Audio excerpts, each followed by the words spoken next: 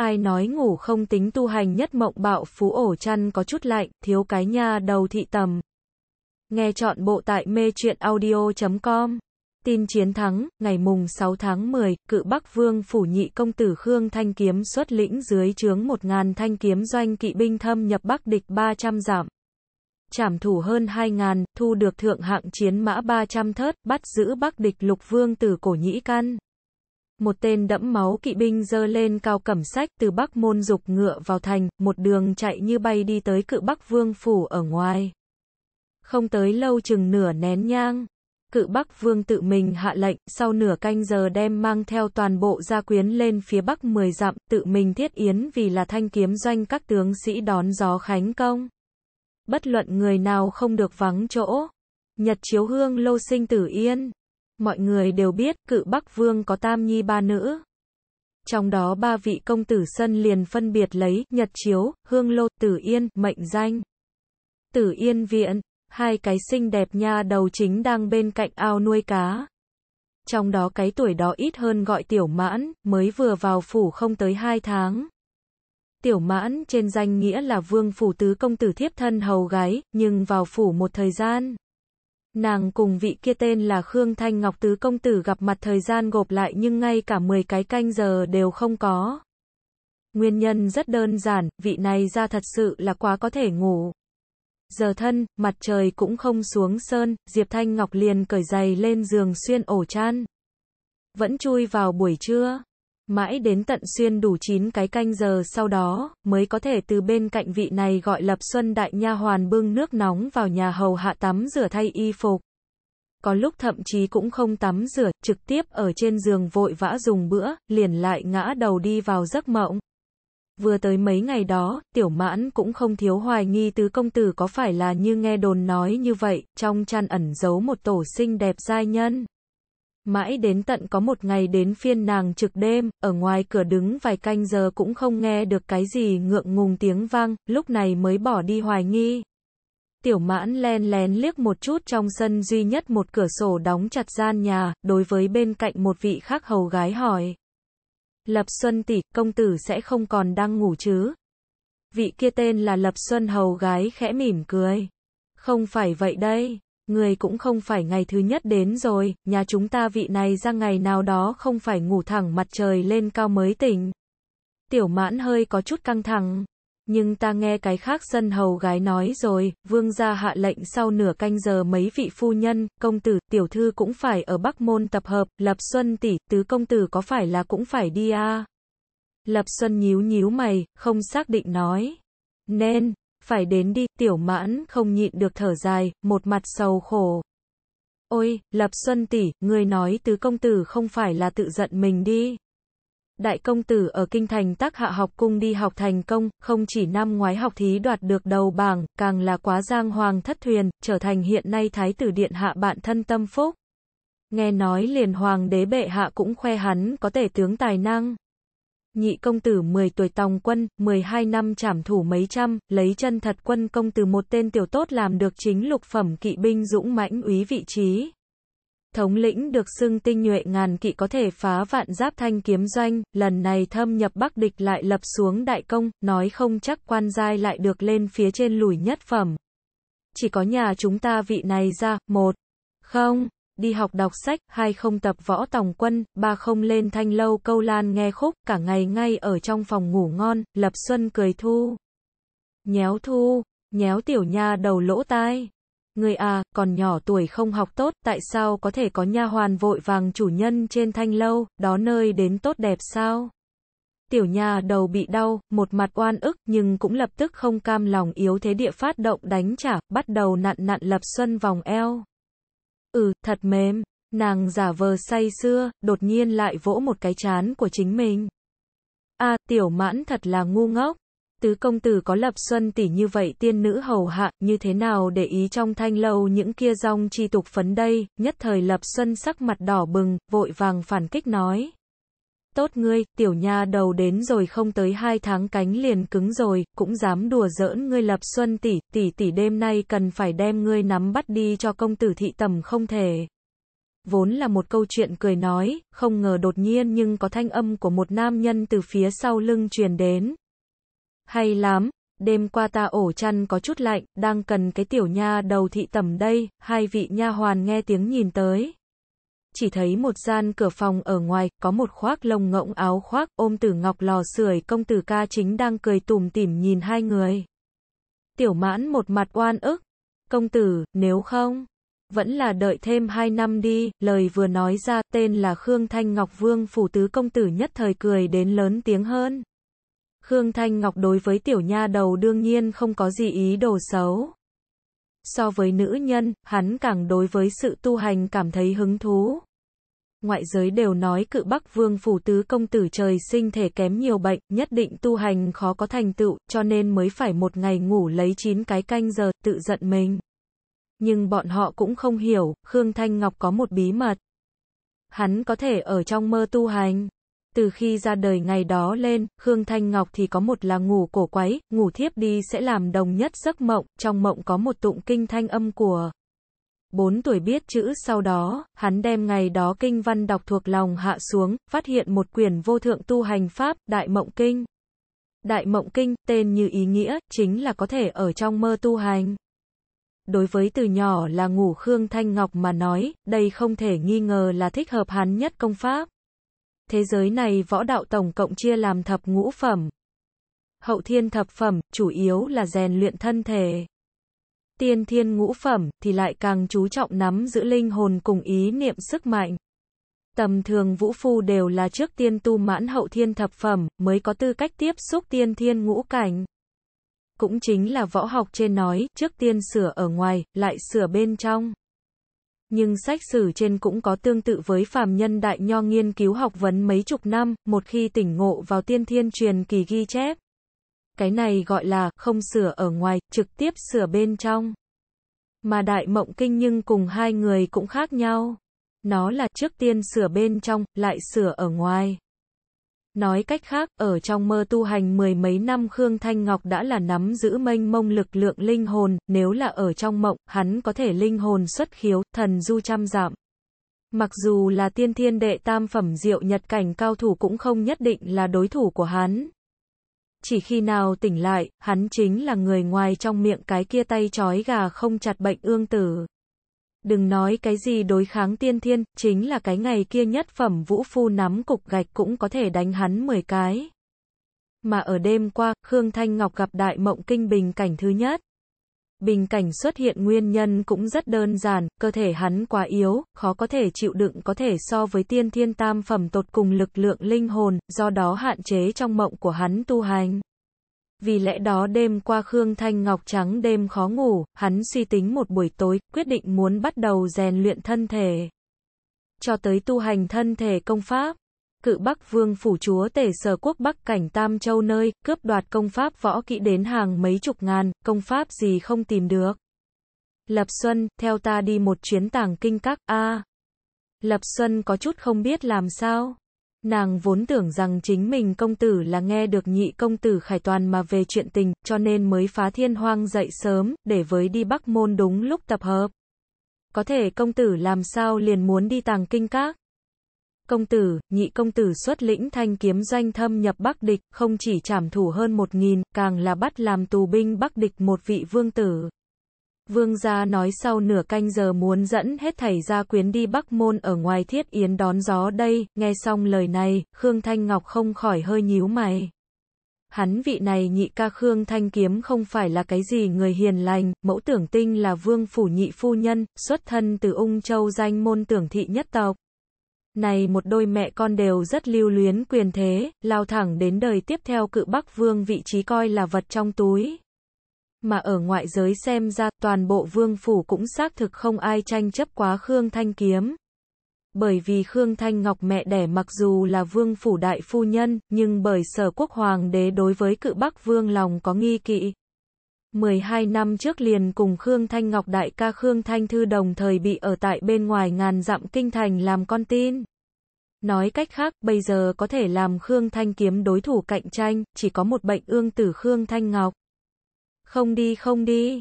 Khương Thanh Ngọc cùng này một vị cùng cha khác mẹ nhị ca luôn luôn không hợp nhau, cũng không muốn áp sát tới suối quẩy. Quên đi, ta một người đi tàng kinh các sau đó.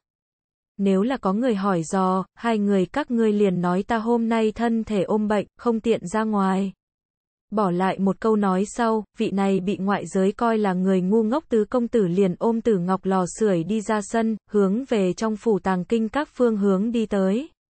Ai nói ngủ không tính tu hành nhất mộng bạo phú vương phủ công tử, cũng có khoảng cách. Nghe chọn bộ tại mê truyện audio.com. Cự Bắc Vương Phủ có một thiên kiếm hồ. Tục truyền 10 năm trước, có một vị chỉ kém một đường liền có thể lên cấp tiên thiên đệ tứ phẩm lão kiếm thánh tìm đến cự Bắc Vương mượn đọc thư tịch. Cự Bắc Vương an bài hắn tiến vào tàng kinh các, cũng đối ngoại thả ra lão kiếm thánh mỗi ngày đều sẽ chọn một người so tài tin tức. Nhất thời, toàn bộ sở quốc kiếm khách đều dồn dập lên đường, chuyển động thân thể, chạy tới cự Bắc Vương phủ chỗ ở Tịnh Châu. Nhưng lão kiếm thánh có một quái quy củ, mỗi ngày chỉ đọc một quyển bí tịch, mỗi lần ra tay, cũng đều sẽ đem mình tu vi hạ thấp cùng đối thủ một cấp bậc. Hơn nữa chỉ lấy ngày đó sở học trong sách kiếm chiêu cùng người luận bàn. Luận bàn không cho phép có người đang xem cuộc chiến. Nếu là người khiêu chiến thua, phải đem phối kiếm ném vào tàng kinh các ở ngoài trong hồ. Lắng một cái ba năm, lão kiếm thánh đọc nhiều sách vở, từ trong ngộ ra được kiếm đạo của chính mình, thành công lên cấp đến tiên thiên đệ tứ phẩm trích tinh cảnh. Ba năm, hắn tổng cộng luận bàn ngàn người, chưa chắc bại trận. Tàng kinh các ở ngoài cái kia mảnh bên dưới hồ nước cũng nhiều hơn một nghìn chuôi lợi kiếm, bởi vậy được gọi tên thiên kiếm hồ. Làm vương phủ tứ công tử, Khương Thanh Ngọc tự nhiên biết truyền thuyết là thật. Năm đó vị kia họ ngu lão kiếm thánh ở tàng kinh các mượn đọc thư tịch thời điểm, toàn bộ tịnh châu đều huyên náo sôi sùng sục, vãng lai khách mời nối liền không dứt. Đại đa số đều là danh môn vọng tộc thế hệ trước mang theo người trẻ tuổi đến bái sư. Cự Bắc Vương cùng nhị phu nhân tưởng tinh sẽ không dừng một lần muốn cho nhi tử Khương Thanh kiếm bái vào lão kiếm thánh môn hạ có thể lão kiếm thánh nhưng lấy thu đồ đệ sẽ làm chính mình kiếm tâm không thuần túy, làm lý do toàn bộ cự tuyệt. Cho tới Khương Thanh Ngọc, cứ việc ở bề ngoài hắn và ngu họ lão kiếm thánh chưa bao giờ chạm qua diện, có thể mỗi lần trời tối người yên thời điểm, hắn dường đi vào giấc mộng. Tổng đuổi tới lão kiếm thánh đọc xong sách cùng người luận bàn. Khi đó hắn mới vừa học xong đại mộng kinh trung thần du thuật, thấy có người luận bàn, thì sẽ không nhịn được linh hồn xuất khiếu, đi vào quan chiến. Có thể nói, hắn là một người duy nhất quan chiến lão kiếm thánh hơn một nghìn lần xuất thủ người may mắn. Hơn nữa, bởi tiên thiên đệ tam phẩm cao thủ vẫn chưa tránh thoát phàm tục ràng buộc, không nhìn thấy người hồn thân, vì lẽ đó hắn có thể khẳng định lão kiếm thánh cũng không có phát hiện mình. Nếu là lão kiếm thánh rời đi vương phủ trước có thể lưu hắn lại công pháp tu hành là tốt rồi. Tàng kinh các tầng thứ tư, đứng một loạt có tới mười mấy tầng trước kệ sách, nắm giữ, lựa chọn khó khăn chứng, Khương Thanh Ngọc trong đầu đột nhiên né qua như thế một không khác nào mơ hão ý nghĩ. Cự Bắc Vương phủ vơ vét cả tòa giang hồ 8 phần 10 trở lên công pháp, tầng thứ tư mỗi một bản thư tịch đều là tiên thiên cao thủ ghi lại phóng tới bên ngoài chỉ ít đều giá trị mấy trăm lượng hoàng kim.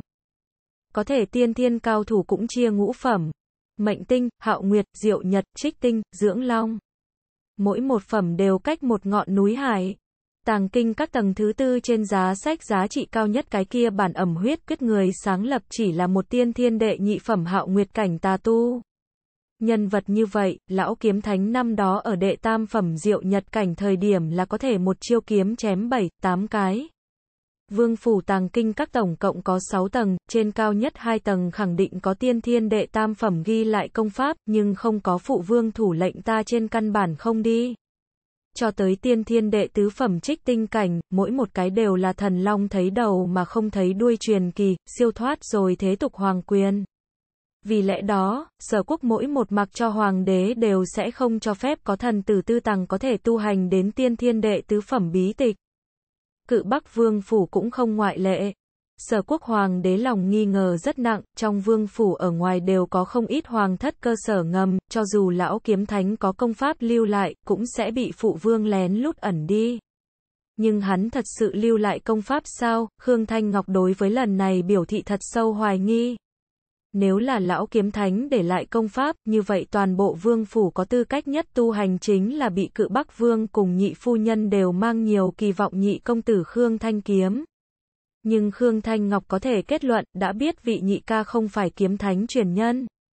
Hắn từng ở màn đêm thăm thẳm lúc linh hồn xuất khiếu, lén lút lẻn vào hương lô viện quan sát qua Khương Thanh kiếm tu hành, nhưng đối phương chủ tu chính là song kiếm. Cũng không phải là ngu họ lão kiếm thánh đơn độc tay kiếm. Tứ công tử đang tìm cái gì, có thể cần lão hủ hỗ trợ. Lúc đó, một đứt đoạn mất cánh tay phải áo bào cho lão nhân đi tới Khương Thanh Ngọc bên cạnh người. Lão nhân tên là Khương Sơn, từ nhỏ là cự Bắc Vương dưới trướng một vị tiên phong, sau đó ở trên chiến trường phụ thương, liền bị cự Bắc Vương kéo đến vương phủ. An bài cái trông coi tàng kinh các nhàn xoa. Khương Sơn bá bá, Khương Thanh Ngọc đúng mực địa hành lễ nói. Ta nghĩ tìm một quyển thích hợp bản thân võ học công pháp. Lời vừa nói ra, Khương Sơn hai con mắt nhất thời né qua một vệt kinh ngạc. Tứ công tử làm sao đột nhiên nhớ lại muốn tập võ, Khương Thanh Ngọc đáp. Cả ngày chờ ở vương phủ có chút buồn bực, liền muốn đi ra ngoài đi một chút, có thể lại nghe nói bên ngoài hiểm ác, liền muốn trước tiên luyện một điểm tu vi võ học. Nói không chắc có thể ở lúc mấu chốt bảo mệnh, lý do này để Khương Sơn có chút giờ khóc giờ cười. Tứ công tử, tu vi võ học dường như hợp dòng thành hải, cũng không phải là một sớm một chiều có thể thành tựu hậu thiên cảnh giới chú trọng rèn luyện thân thể, mà ngươi cái tuổi này bộ xương cũng đã cơ bản định hình, mạnh mẽ tu hành, muốn so với người thường nhiều trả giá gấp mấy chục lần đánh đổi. Ăn gấp mấy chục lần vị đắng. Nếu không, hay là thôi đi. Công tử cũng không tất lo lắng, nếu như ngươi thật sự ra ngoài du lịch đi tới, vương gia nhất định sẽ an bài mấy cái hảo thủ trong bóng tối bảo vệ, ta nghĩ nên không ra đại sự gì. Dù sao, toàn bộ sở quốc có mấy người dám giết là cự Bắc Vương phủ công tử, Khương Thanh Ngọc bất đắc dĩ nở nụ cười. Cái này gọi là nói cái gì a?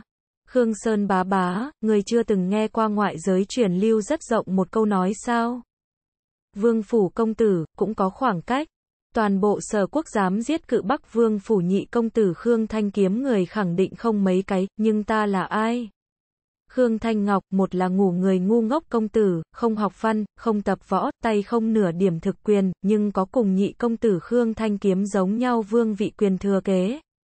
Bắc cảnh Tam Châu cũng không biết có bao nhiêu người ngóng trông ta sớm ngày nổ chết, làm cho vị kia nhị ca ngồi vững vàng thế tử vị trí đây.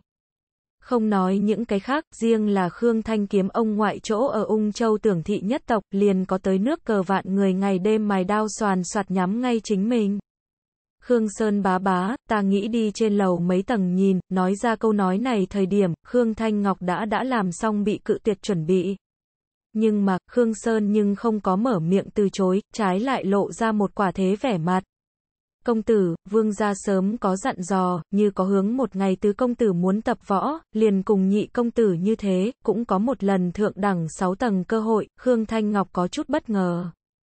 Chính mình vị kia cha trong ngày thường đối với mình cũng đều là một bộ nhắm mắt làm ngơ thái độ, tuy rằng không cắt xén ngân lượng chi phí, nhưng là không có gì ban thưởng. Đến từ yên viện số lần cũng là có thể đếm được trên đầu ngón tay. Hắn lại sẽ sớm cùng Khương Sơn chào hỏi, cho phép chính mình trên tàng kinh các tầng thứ 6. Khương Thanh Ngọc không phải người ngu, tự nhiên sẽ không cự tuyệt chuyện tốt như vậy. Vậy thì phiền phức bá bá dẫn đường, Khương Sơn gật gật đầu, chạm đích hướng về cửa thang gác đi đến. Khương Thanh Ngọc theo sát phía sau. Nhưng mà, đi ngang qua một giá sách thời điểm, hắn đột nhiên thoáng nhìn một quyển sách bìa màu lam, biệt, trang bìa một viết túy kiếm hai chữ. Khương Thanh Ngọc đối với túy kiếm ấn tượng rất sâu. Đây là một vị tiên thiên đệ nhất phẩm mệnh tinh cảnh kiếm khách sáng chế võ kỹ, năm đó ngu họ lão kiếm thánh mượn đọc ngàn bản thư tịch bên trong liền có cuốn này. Đêm hôm ấy, lão kiếm thánh đọc xong túy kiếm sau đêm đã khuya, ở thiên kiếm hồ trên cùng một vị tiên thiên nhất phẩm kiếm khách luận bàn kiếm thuật thời điểm chỉ thấy lão kiếm thánh như cái say rượu người điên, bước tiến lắc lư, tay trái cầm một bình rượu mạnh, tay phải chấp nhất tiệt cành dương liễu làm kiếm, mỗi uống một hớp rượu liền ra một chiêu kiếm. 12 kiếm sau, trong bầu rượu chỉ còn lại có một nửa. Sau đó hắn đem còn dư lại nửa bầu rượu uống một hơi cạn sạch, lại vung ra ở 12 kiếm cơ sở trên tự nghĩ ra thứ 13 kiếm. Vào lúc ấy Khương Thanh Ngọc hồn thân liền ở một bên quan chiến. Không phải không thừa nhận, lão nhân không thẹn kiếm thánh tên. Chiêu kiếm đó trực tiếp cuốn lên cao mấy chục trượng sóng nước, suýt nữa che mất tàng kinh các, lúc trước 12 kiếm gộp lại đều kém xa tít táp. Khương Thanh Ngọc từ trên giá sách mang tới túy kiếm, hỏi. Đúng rồi, bá bá cũng biết, 10 năm trước vị kia lão kiếm thánh trở ở tàng kinh các thời điểm, là ở tại tầng thứ mấy. Đi tới cửa thang gác Khương Sơn gặp lại sau đến tình cảnh này, nhất thời xem thấu Khương Thanh Ngọc ý nghĩ, hắn cũng không có che giấu, nói thẳng nói. a vị kia lão tiền bối a Lão nhân ra người có hai năm rưỡi là ở tại tầng thứ tư, cuối cùng nửa năm nhưng là ở tại tầng thứ năm. Ai nói ngủ không tính tu hành nhất mộng bạo phú lão bà, ngươi làm đủ trò xấu. Nghe chọn bộ tại mê truyện audio.com. Nhắc tới ngu họ lão kiếm thánh, Khương Sơn trên mặt không khỏi có thêm vẻ sùng bái cùng cảm kích. Năm đó hắn ở trên chiến trường phụ trọng thương, không chỉ bị người chém đứt một cái cánh tay, tu vi võ học cũng từ tiên thiên đệ nhất phẩm mệnh tinh cảnh rơi xuống đến hậu thiên thập phẩm. Vương gia thấy hắn ý chí xa sút liền đem kéo đến vương phủ, ở trong tàng kinh các lan lộn cái nhàn xoa, đồng thời cũng hy vọng hắn có thể đọc thêm nhiều sách, thuận tiện kiêm tu mấy môn võ học. Nói không chắc là có thể trở về tiên thiên cảnh. Có thể Khương Sơn liên tiếp tu hành mười mấy môn võ học sau lại phát hiện, chính mình học hỗn tạp mà không tinh, cho tới cảnh giới hàng rào chẳng những không có thay đổi mong. Trái lại càng ngày càng khó phá vỡ. Điều này làm cho hắn lòng như cho nguội. Mãi đến tận vị kiêng ngu họ lão kiếm thánh đi tới tàng kinh các. Vừa tới năm đó, lão kiếm thánh chưa bao giờ cùng Khương Sơn giao lưu, cũng rất ít nói chuyện, chỉ có đêm khuya đang đánh thất bại luận bàn đối thủ sau mới có thể mở miệng chỉ điểm đối phương một đôi lời. Khương Sơn cũng rất thức thời, chưa bao giờ đi mạo muội quấy rối, cũng không nhìn lén lão kiếm thánh cùng người luận bàn. Có thể ở năm thứ hai một ngày nào đó, lão kiếm thánh hỏi hắn muốn một bình rượu. Khương Sơn bắt được cái này đời này có chừng cơ hội. Hắn mừng rỡ như điên, móc ra hết thảy dòng dõi mua vương ra ép gầm giường một bình thần tiên say. Liền, đêm đó hắn được phép ở một bên quan chiến. Đắc thắng trở về sau, lão kiếm thánh truyền hắn tự nghĩ ra túy kiếm thứ 13 kiếm. Dựa vào chiêu kiếm này, Khương Sơn không chỉ chém phá cảnh giới hàng rào, trở về tiên thiên, càng là ở 6 năm sau lần thứ hai đột phá, lên cấp đến tiên thiên đệ nhị phẩm hạo nguyệt cảnh. Nói cách khác, Khương Sơn có thể tính là lão kiếm thánh nửa cái đệ tử. Đương nhiên, lão kiếm thánh khẳng định ngại mất mặt, sẽ không thừa nhận chuyện này. Công tử là muốn học lão tiền bối kiếm thuật, Khương Thanh Ngọc gật gật đầu. Kiếm thánh thuật, ai không muốn học? Hắn cúi đầu liếc nhìn trên tay quyển này tùy kiếm, ý đồ từ trong tìm ra một tia lão kiếm thánh lưu lại tin tức. Nhưng mà, Khương Sơn nhưng mở miệng phá vỡ hắn ảo tưởng. Công tử không cần tìm kiếm, lão kiếm thánh sau khi rời đi, nhị phu nhân liền đưa hắn mượn đọc trôi qua hơn một nghìn bản thư tịch nguyên bản đều chuyển đến nhị công tử chỗ ở hương lô viện. Trên tay ngươi cái kia bản túy kiếm là sau đó vương gia lại tìm người đằng sau, ngoại trừ sách bên ngoài, nhị phu nhân thậm chí đem toàn bộ tàng kinh các giá sách đều thay đổi một cha. Vì lẽ đó, mặc dù lão tiền bối để lại tin tức gì, cũng chỉ sẽ bị nhị công tử được. Khương Thanh Ngọc ngây ngẩn cả người. Không thể không nói, hắn vị này nhị nương thật đúng là cái. Làm đủ trò xấu lão bà A, nhưng lại nói ngược lại. Thay đổi đối phương lập trường, mình cũng cho phép làm có thể so với tưởng tinh mẹ con càng ác hơn. Lão kiếm thánh, hy vọng ngươi phủi mông một cái đã đi, có thể tuyệt đối đừng lưu lại cái gì tuyệt thế bí tịch A, Khương Thanh Ngọc ở bên trong tâm không ngừng cầu khẩn. Nhị ca Khương Thanh Kiếm năm nay mới 22 tuổi, tu vi võ học cũng đã đạt đến hậu thiên bát phẩm, ghi tên sở quốc công tử bảng người thứ 11, có hy vọng ở 25 tuổi trước lên cấp tiên thiên. Nếu là lần nữa lão kiếm thánh truyền thừa, dù cho chỉ là một tí tẹo, đều có khả năng để hắn thứ tự lên trên nữa lùi cái mấy vị. Đến lúc đó, nhị nương tưởng tinh cùng nàng nhà mẹ đẻ ung châu tưởng thị lại một phen hoạt động, nói không chắc nhị ca liền thật sự muốn trở thành vương phủ thế tử. Tuy rằng Khương Thanh Ngọc đối với quyền thế không có gì nhớ, nhưng cái kia vốn phải là đại ca Khương Thanh Thư vị trí A. Đại ca ở Kinh Thành làm con tin, chịu nhục dòng dã 12 năm, vì phòng ngừa sở quốc hoàng đế nghi kỵ, cho dù hắn thiên phú không kém, cũng không có thể được phép tập võ tu hành. Chỉ có thể đi tắc hạ học cung làm một vị nghiên cứu học vấn học sinh. Nếu không phải năm ngoái học thì lấy được đầu tên, lấy được thái tử thưởng thức, nói không chắc sớm đã bị trong vương phủ những người khác quên. Ta không thể để cho vốn nên thuộc về hắn thế tử vị trí rơi vào tưởng tinh mẹ con trong tay. Khương Sơn không nghe thấy Khương Thanh Ngọc nội tâm thanh âm của nhưng hắn ở vương phủ đợi mười mấy năm, đối với vị này tứ công tử tình trạng vẫn có một chút dài. Người ngoài chỉ làm tứ công tử là bệnh ương tử, cả ngày nằm ở trên giường, không học văn, không tập võ, thậm chí ngay cả thanh lâu đều chưa bao giờ đi. Cho tới có lời đồn đãi nói tứ công tử nửa người dưới có tàn tật, không cách nào sinh dục, căn bản ngồi không được vương vị. Liền ngay cả vương gia bản thân đối với đứa con trai này cũng không ôm cái gì kỳ vọng. Hôm nay nhị công tử Khương Thanh Kiếm lập công trở về, vương gia hạ lệnh hết thầy gia quyến đều đi Bắc Môn ở ngoài nghênh tiếp. Mà tứ công tử Khương Thanh Ngọc nhưng một mực vào lúc này đi tới tàng kinh các nói muốn bắt đầu tập võ. Tứ công tử nhất định là không cam tâm đi, Khương Sơn thở dài một hơi. Có lúc hắn cũng không ưa nhị phu nhân một ít tác phong, nhưng không phải không thừa nhận, hiện nay đến xem nhị công tử muốn so với tứ công tử ưu tú nhiều lắm, cũng càng thích hợp làm vương phủ thế tử. Khương Sơn bá bá, nên theo ta đi tầng thứ 6, Khương Thanh Ngọc rất nhanh sẽ điều chỉnh tâm tình, cũng đưa tay trên túy kiếm thả lại giá sách. Hắn không có quên mục đích của chuyến này, là tìm một quyển thích hợp võ học công pháp. Khương Sơn gật gật đầu, tiếp tục dẫn đường. Đùng, đùng, tàng kinh các cầu thang chỉ dùng để đặc thù thạch tài chế thành, đi ở mặt trên sẽ phát sinh không nhỏ tiếng vang. Có người nói loại này thiết kế là vì ở kẻ trộm đi vào trộm sách thời điểm có thể đúng lúc có người phát hiện cũng đem nắm lấy. Có thể Khương Thanh Thư nhưng cho rằng cái này cơ quan thùng rỗng kêu to. Dù sao, chỉ cần là cái tiên thiên cao thủ là có thể làm được không phát ra tiếng vang cũng có thể lên lầu cho tới hậu thiên cảnh giới kẻ trộm. Vương phủ nuôi nhiều như vậy ám vệ tử sĩ, căn bản thì sẽ không để cho bọn họ có cơ hội tới gần ở vào thiên kiếm hồ trung ương tàng kinh các. Hơn nữa, ngay ở lên lầu trong thời gian ngắn, Khương Thanh Ngọc cũng đã dựa vào mênh mông lực lượng linh hồn phát hiện trong bóng tối cất giấu không thấp hơn 10 đạo tiên thiên khí tức. Cứ việc đều là tiên thiên đệ nhất phẩm mệnh tinh cảnh. Có tiên thiên đệ nhị phẩm hạo nguyệt cảnh Khương Sơn ở phía trước dẫn đường, cho dù Khương Thanh Ngọc không có cự Bắc Vương thủ lệnh. Những kia giấu ở trong bóng tối thủ vệ cũng không có hiện thân cản trở hắn thượng đẳng 6 tầng. Rất nhanh hai người liền đã tới tầng thứ 6. Tầng thứ 6 có một phiến đóng chặt cửa sắt, lớp 12 trượng, rộng 2 trượng, môn khoảng chừng các điêu khắc một cái đại mãng.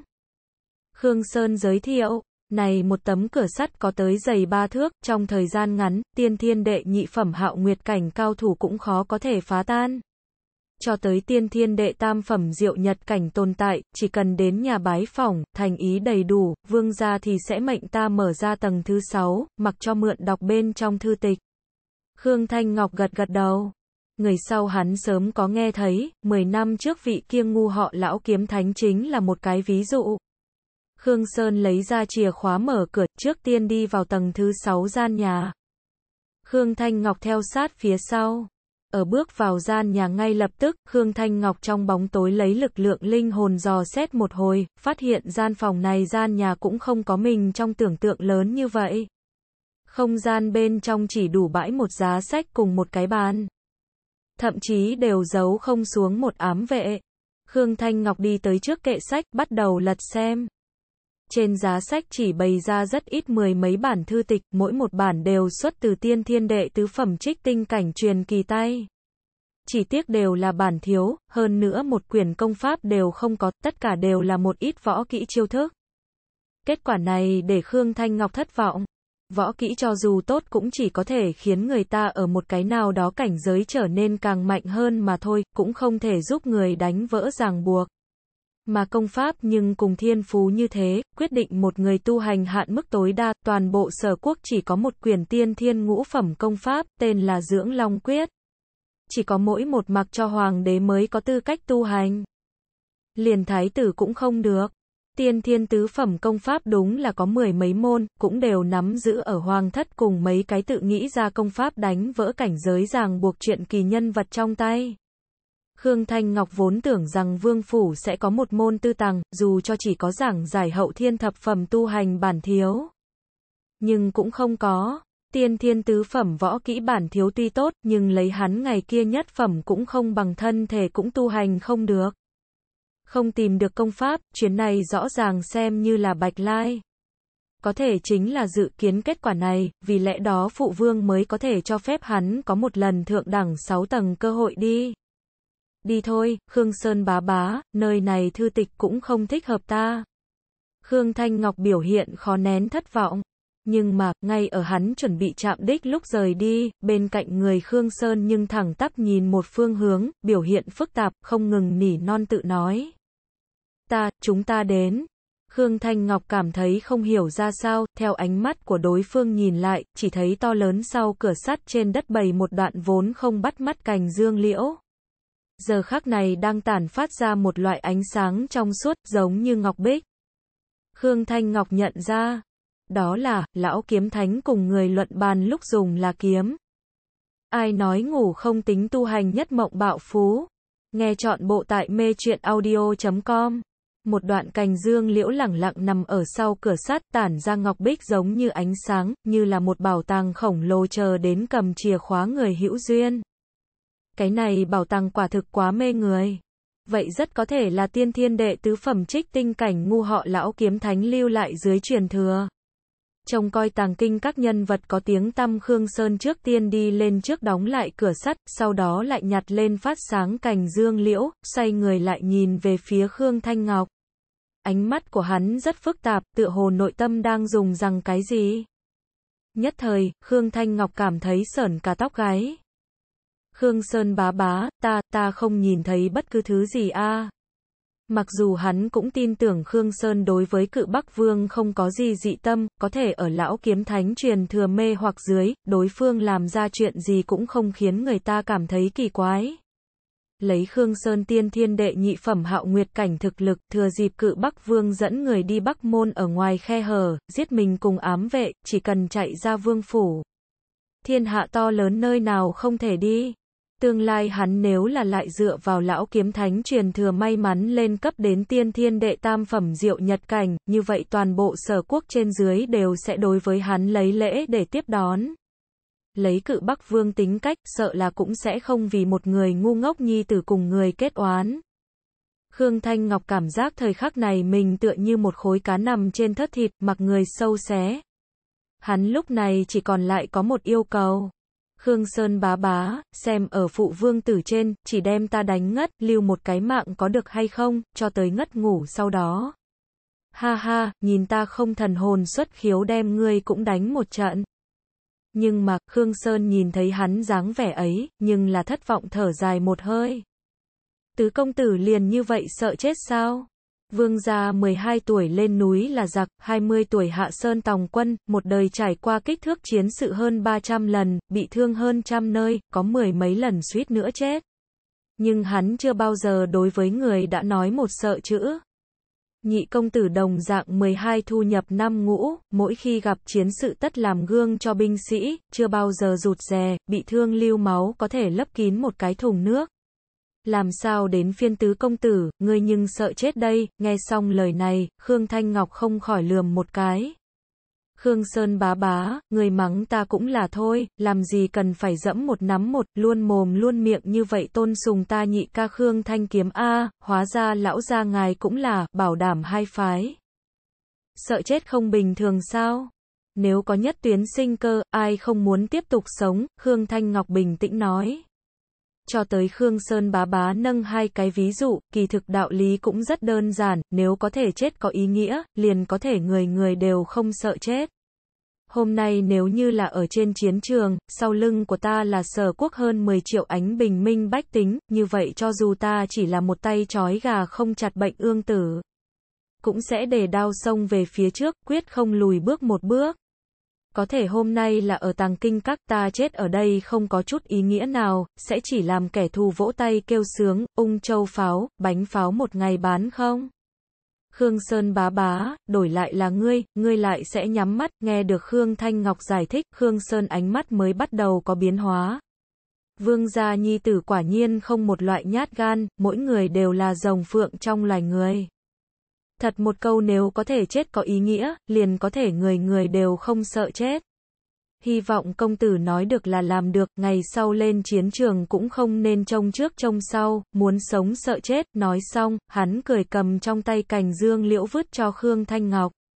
Cành dương liễu giống như ngọc bích vào tay. Bắt đầu ấm áp, lại có một loại làm người tê dại đâm nhói cảm giác như là có ngàn vạn khẩu to bằng mũi kim lợi kiếm ở đâm người ra thịt. Lần này đến phiên Khương Thanh Ngọc bị hồ đồ rồi. Khương Sơn bá bá, ngươi không nhìn một chút sao, ngươi không giết ta còn chưa tính, đem cành dương liễu cho ta là có ý gì? Cha ta, ta nhị ca, người nào nhìn qua không thể so ta có tư cách hơn được lão kiếm thánh biếu tặng. Chẳng lẽ là ta hiểu lầm ngài? Kỳ thực vẫn luôn là cái kiên định bảo đảm bốn phái. Khương Sơn hữu hảo địa cười cợt. Công tử không kỳ quái sao? Lấy nhị phu nhân tính tình, tàng kinh các tầng thứ sáu tại sao có thể có lão kiếm thánh đã dùng qua cành dương liễu lưu lại. Khương Thanh Ngọc hơi run run. Đúng vậy, lấy lão bà kia tính nết hơn một nghìn bản thư tịch và cả tòa tàng kinh các giá sách đều đem đến nhị ca hương lô viện, lại sẽ để sót này một đoạn cành dương liễu. Hắn nhìn về phía Khương Sơn, chẳng lẽ? Khương Sơn cười gật đầu thừa nhận công tử khả năng đoán được, này một đoạn cành dương liễu là ta một mình ẩn đi, Khương Thanh Ngọc không hiểu. Bá bá vì sao phải làm như vậy, là vì ta. Sao, Khương Thanh Ngọc chính mình cũng không thể tin được. Ở vạn người tôn sùng thiên tài nhị công tử cùng danh tiếng tan vỡ vô dụng tứ công tử trong lúc đó, lại sẽ có người lựa chọn ta. người nhìn người cũng quá đúng chứ. Nhưng rất đáng tiếc, lần này là Khương Thanh Ngọc tự mình đa tình. Công tử cả nghĩ quá rồi, Khương Sơn giải thích. Ta chỉ là ở dựa theo ngu tiền bối dặn dò làm thôi. Không dối gạt công tử, lúc trước ngu tiền bối ở tàng kinh các thời điểm, có thuận lợi dạy ta một chiêu kiếm. Ta có bây giờ tiên thiên đệ nhị phẩm hạo nguyệt cảnh tu vi cũng tất cả đều là lại gần chiêu kiếm đó.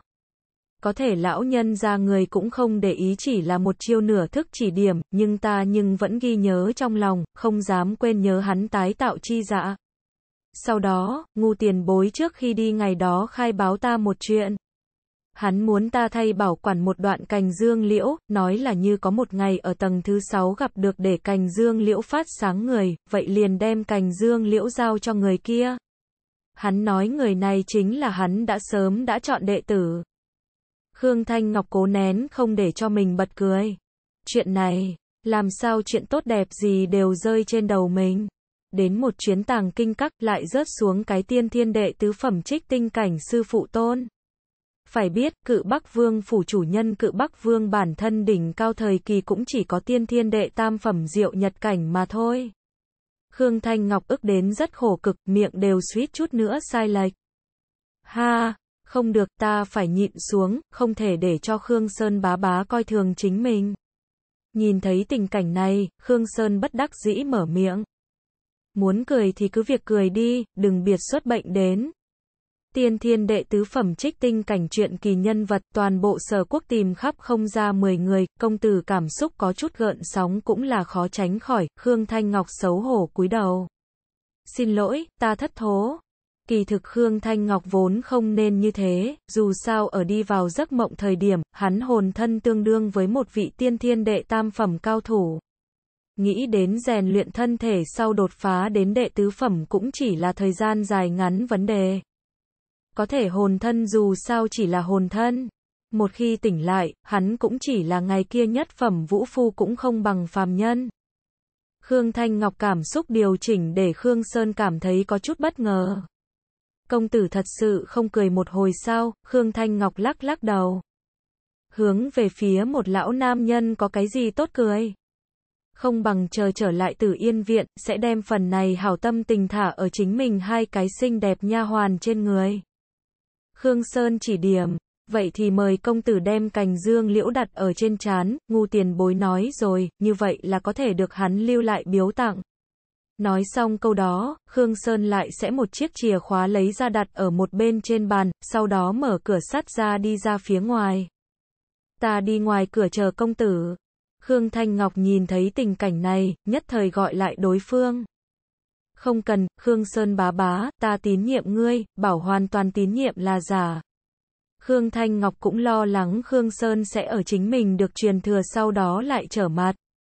Có thể như nếu như đối phương thật sự mưu đồ kiếm thánh truyền thừa, như vậy khi chiếm được hoàn chỉnh truyền thừa trước nhất định sẽ không giết chính mình.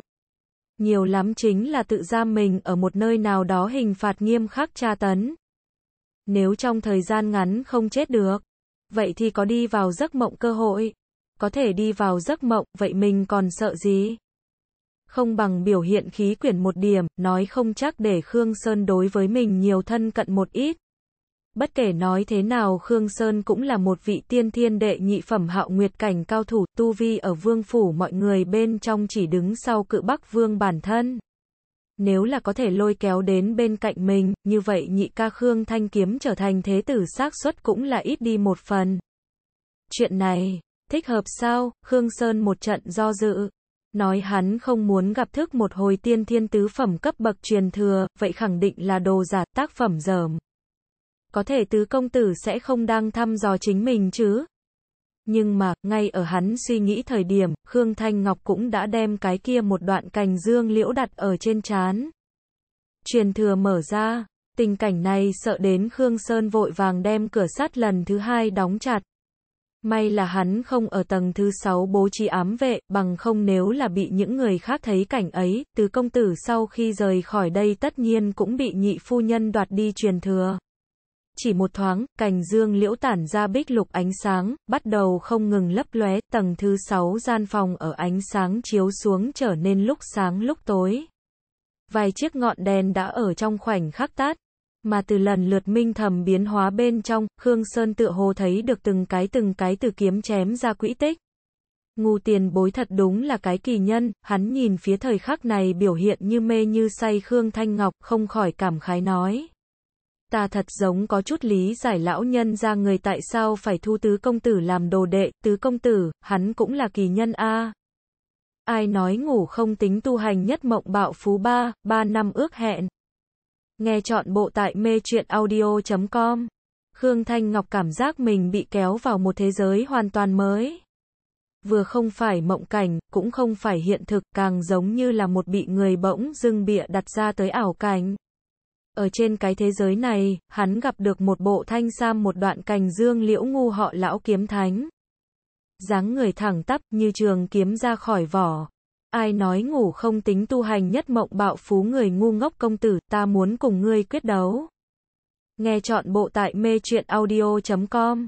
Trong óc lập tức bị nhét vào hơn một ngàn bản bí tịch mang vào lão kiếm thánh tỉ mỉ giảng giải cùng với ở bí tịch cơ sở trên tự nghĩ ra hơn một nghìn thức kiếm chiêu.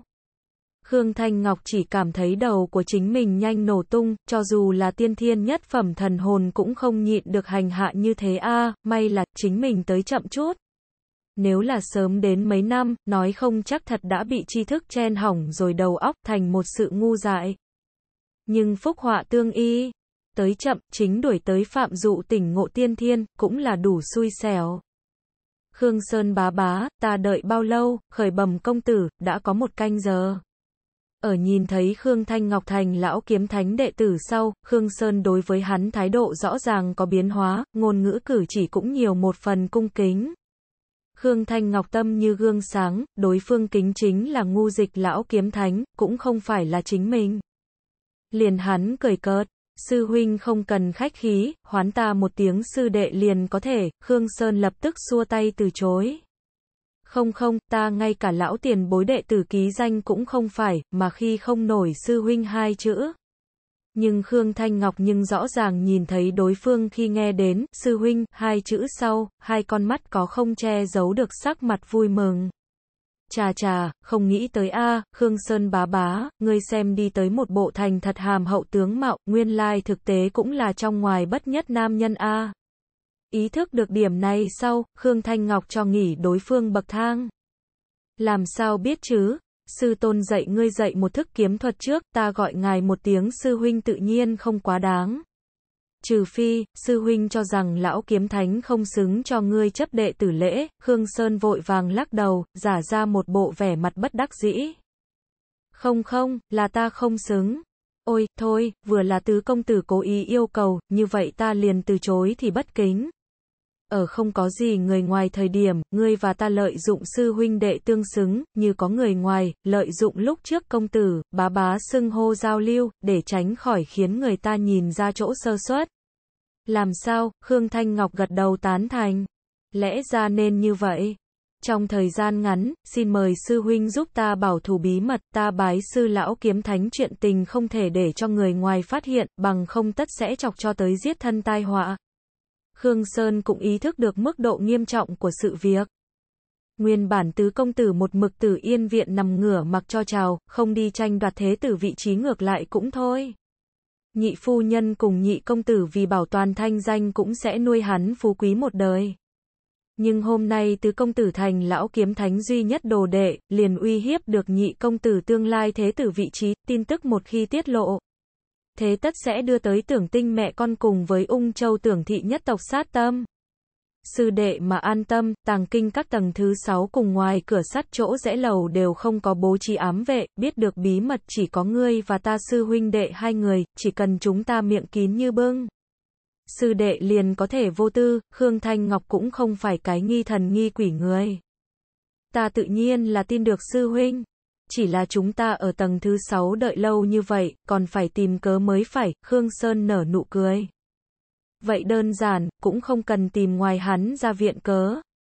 Lúc trước nhị công tử lần đầu tiên tới tầng thứ 6 thời điểm, cũng là đợi có tới một canh giờ, dù sao nơi này bảo tồn đều là tiên thiên tứ phẩm võ kỹ, dù cho chỉ là bản thiếu. Cũng đủ để cho người như mê như say, hận không thể một hơi toàn bộ ghi nhớ. Ngay ở Khương Thanh Ngọc cùng Khương Sơn hai người thỏa thuận chi tiết nhỏ chuẩn bị mở cửa lúc xuống lầu. Tàng kinh các tầng thứ nhất lối vào nơi, một trong ngày thường chỉ có mấy cái suất ngũ lão tốt học qua từ tắm nắng địa phương, hôm nay nhưng là khác thường địa hội tụ một đám người. Một đám người phân hai phái, chính đang đối lập. Trong đó một phương chính là tử yên viện hai cái nha hoàn, Lập Xuân cùng Tiểu Mãn. Giờ khác này các nàng đang trốn ở mấy vị suất ngũ lão tốt phía sau, không ngừng hướng về bên trong nhìn lại, vẻ mặt vô cùng lo lắng mà ở các nàng phía trước cách đó không xa, tụ tập ba mươi mấy tờ cũng không phải là vương phủ tạp dịch nha hoàn khuôn mặt xa lạ. Đều là nam tử. Đám người kia ăn mặc ngực vân một viên thanh kiếm phù hiệu hệ NTSC NTSC khôi giáp, bên hông bội một cái trường kiếm, trên mặt mỗi người đều mang theo kiêu căng khó thuần, cực điểm trào phúng nụ cười. Lập Xuân cùng Tiểu Mãn đối với này một thân khôi giáp cũng không xa lạ bọn họ đều đến từ chính vương phủ nhị công tử thanh kiếm doanh. Toàn bộ sở quốc mọi người đều biết, cự Bắc Vương xưa nay đều là thưởng phạt phân minh, phàm là có công tướng sĩ, chẳng những có ngân lượng ban thưởng. Càng là có thể tiến vào vương phủ tàng kinh các dùng quân công hối đoái công pháp võ kỹ. Này ba mươi mấy vị thanh kiếm doanh quân tốt chính là lần này đủ quân công đến đây hối đoái công pháp võ kỹ. Theo lý thuyết thanh kiếm doanh cùng tử yên viện nha hoàn căn bản sẽ không có gặp nhau. Mỗi ngày ở lưỡi kiếm trên liếm máu các tướng sĩ cũng từ trước đến giờ đều xem thường cái kia đều là nằm ở trên giường nhỏ vô dụng công tử. Nhưng lần này nhưng đã xảy ra biến cố. Cự Bắc Vương ở Bắc Môn ở ngoài 10 dặm thiết yến, thanh kiếm doanh ăn uống no đủ sau liền vào thành, mà bọn họ ba mươi mấy người nhưng là phụng khương thanh kiếm mệnh lệnh phụ trách mang một vị quý khách đến tàng kinh các mượn đọc thư tịch. Không ngờ vị kia quý khách đối với thư tịch cái gì không có nửa điểm hứng thú, trái lại vẫn la hét muốn cùng vương phủ tứ công tử Khương Thanh Ngọc quyết đấu. Hắn đầu tiên là đi tới một chuyến tử yên viện, vô hụt sau, lại đi tới tàng kinh các ngăn môn, bày ra một bộ không quyết đấu thề không bỏ qua tư thế. Lại như hiện tại, hắn liền nhìn chằm chằm cửa, nghiêng một tấm mặt xấu, lông mày bay đến trên trời, trong miệng không ngừng ồn ào.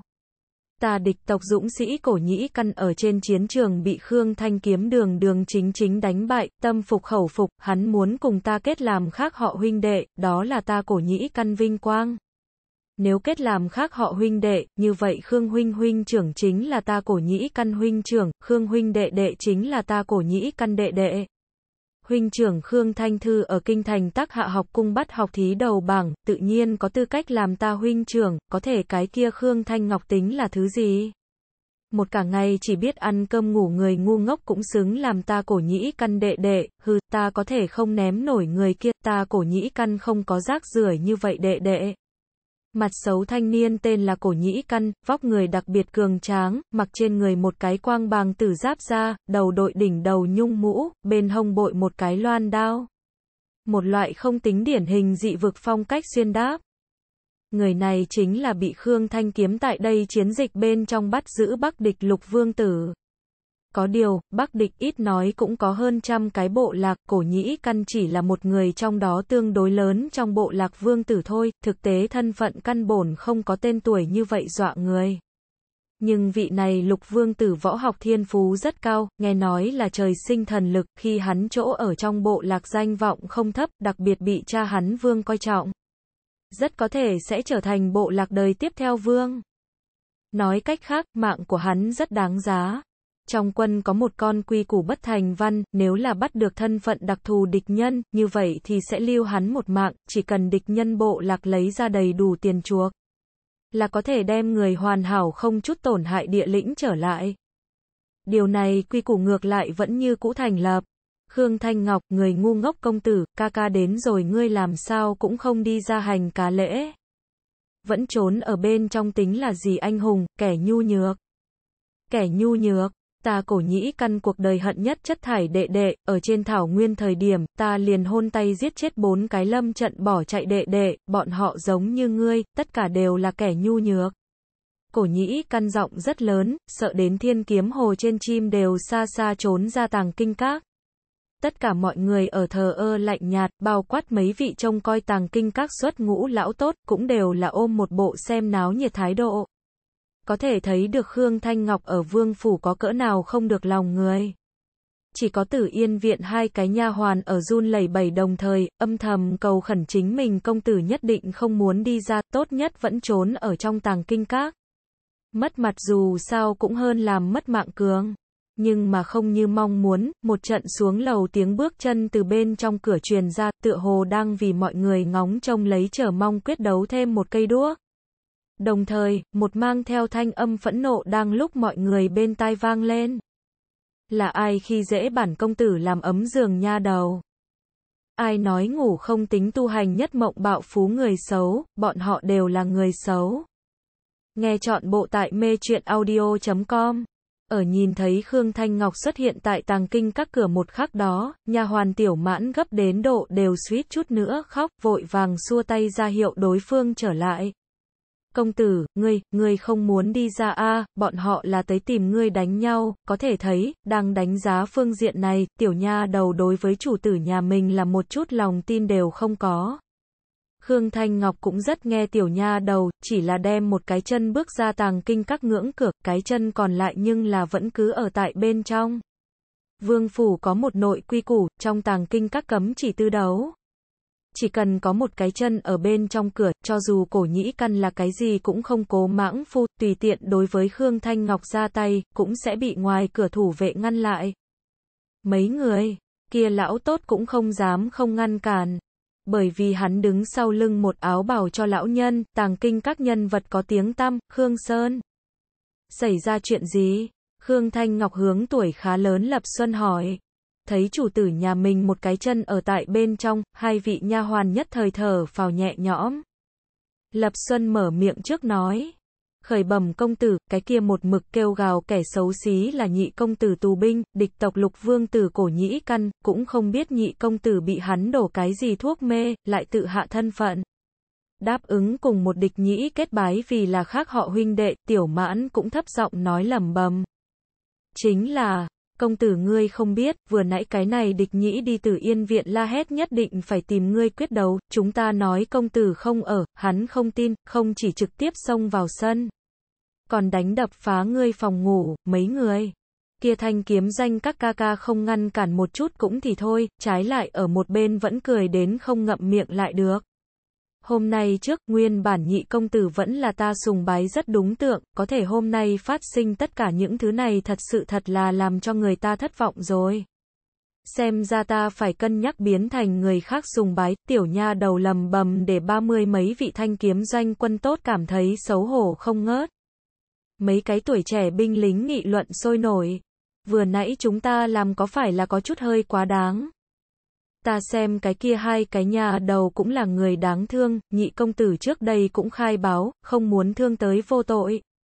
Đúng vậy, ta xem ra đến, tên tiểu nha đầu kia đối với nhị công tử là chân tình ý cắt a, chúng ta cũng không thể lạnh lẽo lòng của người ta. Nếu không như vậy đi, chờ chuyện này vừa kết thúc, tìm mấy cái huynh đệ mua chút son đến nhà đi nói lời xin lỗi, anh hùng nhìn thấy hơi cùng. Mấy cái này thanh kiếm doanh tướng sĩ tư tưởng cũng rất đơn giản. Thanh kiếm doanh là thay vương phủ nhị công tử Khương Thanh kiếm bán mạng, chỉ cần ngươi khen một câu nhị công tử tốt, vậy chúng ta chính là người cùng một con đường. Có thể hiểu rõ tiểu mãn nhí nha nhí nhảnh tính cách Khương Thanh Ngọc lại biết, tiểu nha đầu vừa nãy chỉ là ở gặp dịp thì chơi thôi, nàng nói như vậy thuần túy là vì soạt một làn sóng hảo cảm. Làm cho đối phương bỏ đi cùng tử yên viện đối nghịch ý nghĩ. Nhưng Khương Thanh Ngọc căn bản không có ý định đem việc này nhẹ nhàng bỏ qua. Người mới vừa nói cái gì, hắn đánh đập phá bản công tử phòng ngủ, tiểu nha đầu oan ức địa điểm gật đầu.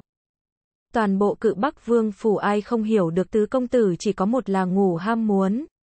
Đối với một là ngủ người mà nói, phòng ngủ chính là hắn tư nhân cấm địa, mà vương phủ trên dưới cũng đều chấp nhận điểm này. Trong ngày thường ngoại trừ hầu hạ khởi cư hai cái nha hoàn ở ngoài, mặc dù là cự Bắc Vương bản thân, đang không có được tứ công tử dưới sự cho phép cũng không đến tiến vào phòng ngủ nửa bước. Nhưng hôm nay nhưng có người ngay ở trước mặt hai cái nha hoàn trực tiếp đem cấm địa đập phá. Người xấu, bọn họ đều là người xấu, tiểu nha đầu từ nhỏ đến lớn sẽ không được quá ủy khuất như thế. Tứ công tử đáng thương biết bao a, cả ngày trốn ở tử yên viện trong phòng ngủ tự giận mình, không để ý tới người khác chê cười, đối với cái gì cũng không tranh không cướp. Nhưng hắn cũng đã như vậy thoái nhượng, tại sao các ngươi còn không chịu từ bỏ nhằm vào? Khương Thanh Ngọc không nhịn được đưa tay sờ mò tiểu mãn đầu một bên mò vừa cười cảm khái.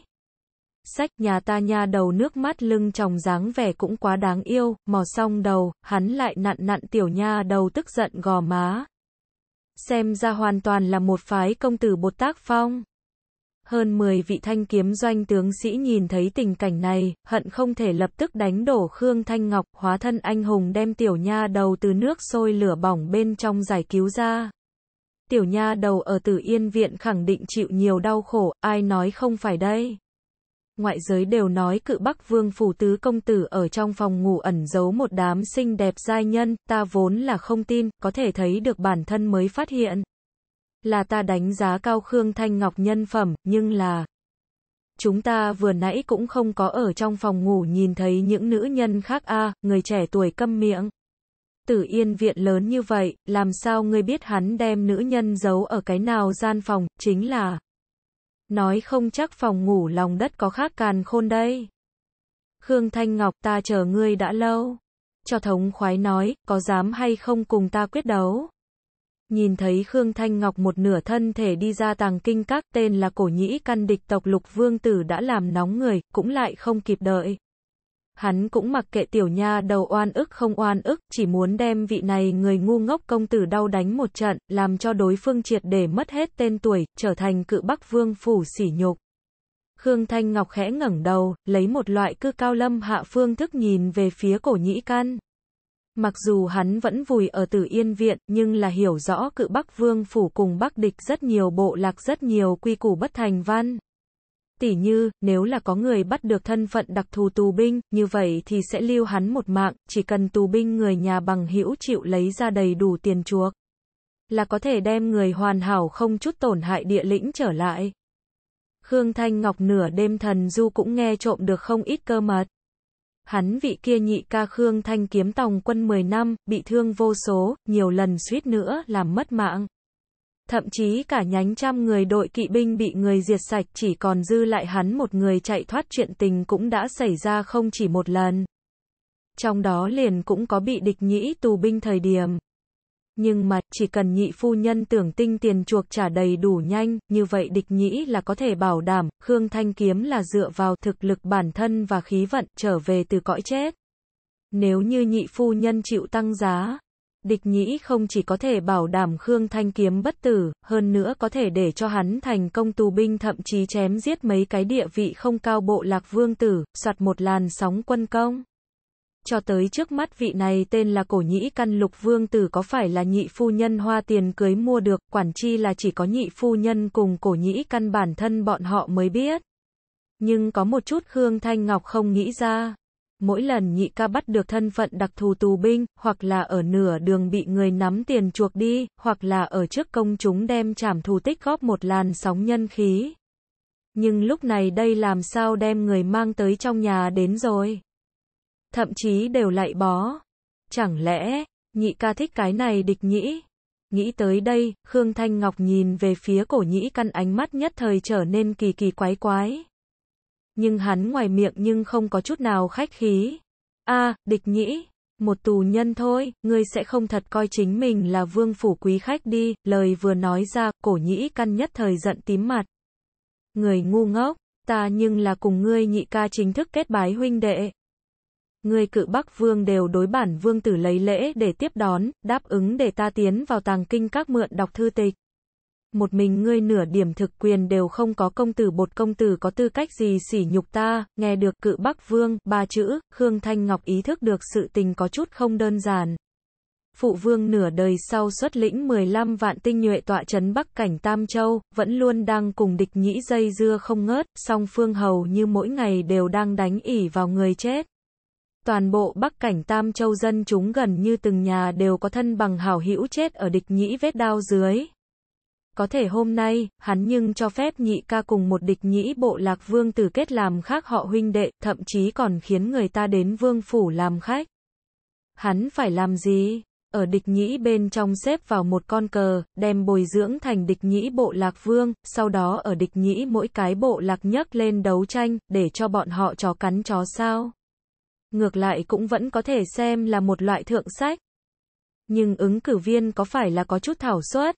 Cổ nhĩ căn rõ ràng cho thấy cá biệt thiên phú điểm đều thêm ở về sức mạnh mãng phu A, hy vọng hắn và cái khác địch nhĩ bộ lạc chó cắn chó, có phải là có chút quá đề cao hắn? Trừ phi, người này ở giả làm heo ăn thịt hổ. Khương Thanh Ngọc chuẩn bị dò xét một hồi cổ nhĩ căn. Hắn hướng về phía đối phương cười lạnh vài tiếng. Ngươi người này làm sao một điểm làm tù nhân giác ngộ đều không có. Phụ vương yêu đãi tù binh, đó là hắn căn bản liền không lọt mắt ngươi, ngươi đến vui mừng mình không phải là một cái nào đó đại bộ lạc vương.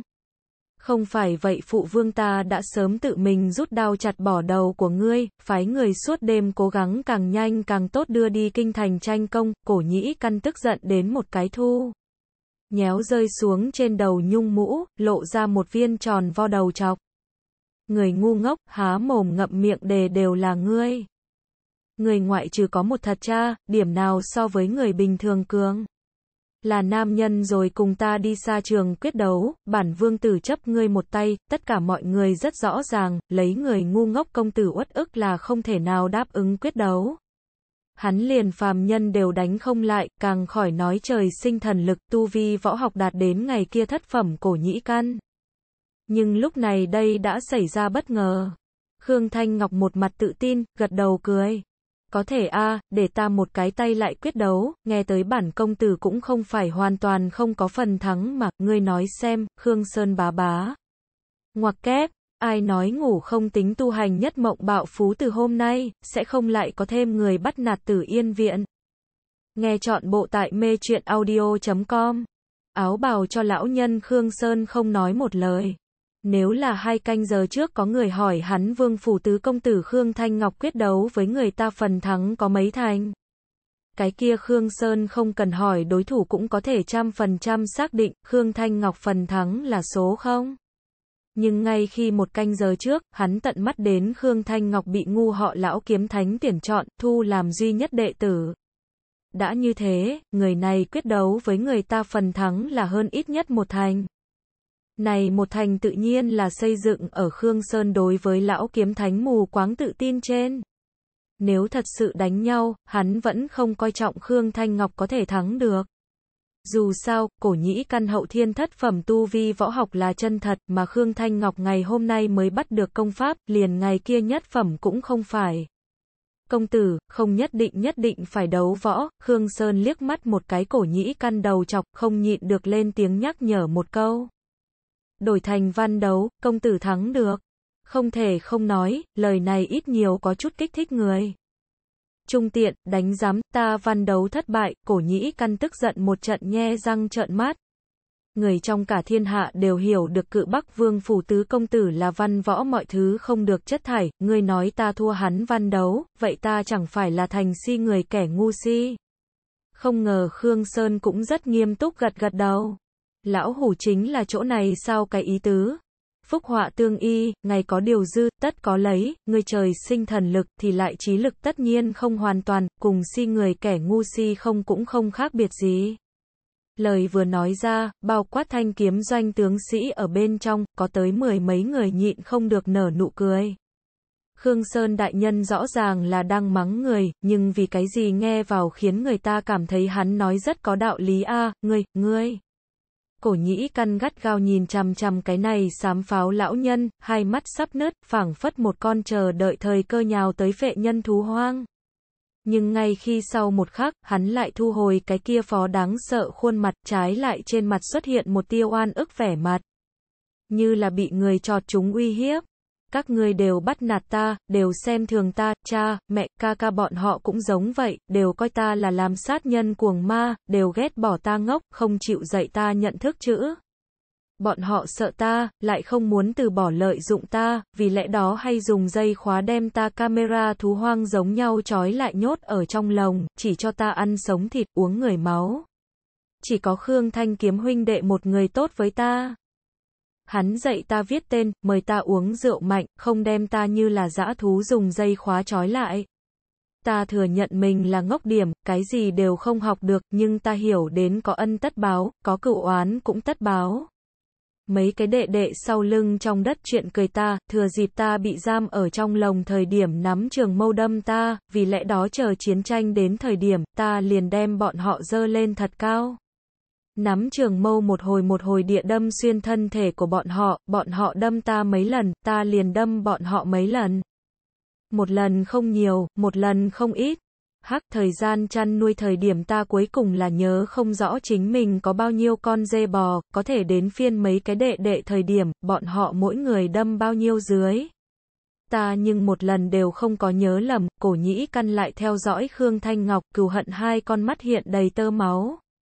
Sau đó, hắn rất chăm chú hỏi một vấn đề.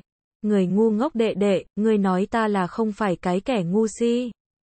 Khương Thanh Ngọc âm thầm thở dài một hơi. Hắn có chút đáng thương cổ nhĩ căn nửa đời trước, nhưng bội phục hơn nhị ca Khương Thanh kiếm con mắt xem người cùng lôi kéo người thủ đoạn. Người này là đối với nhị ca hoàn toàn thần phục.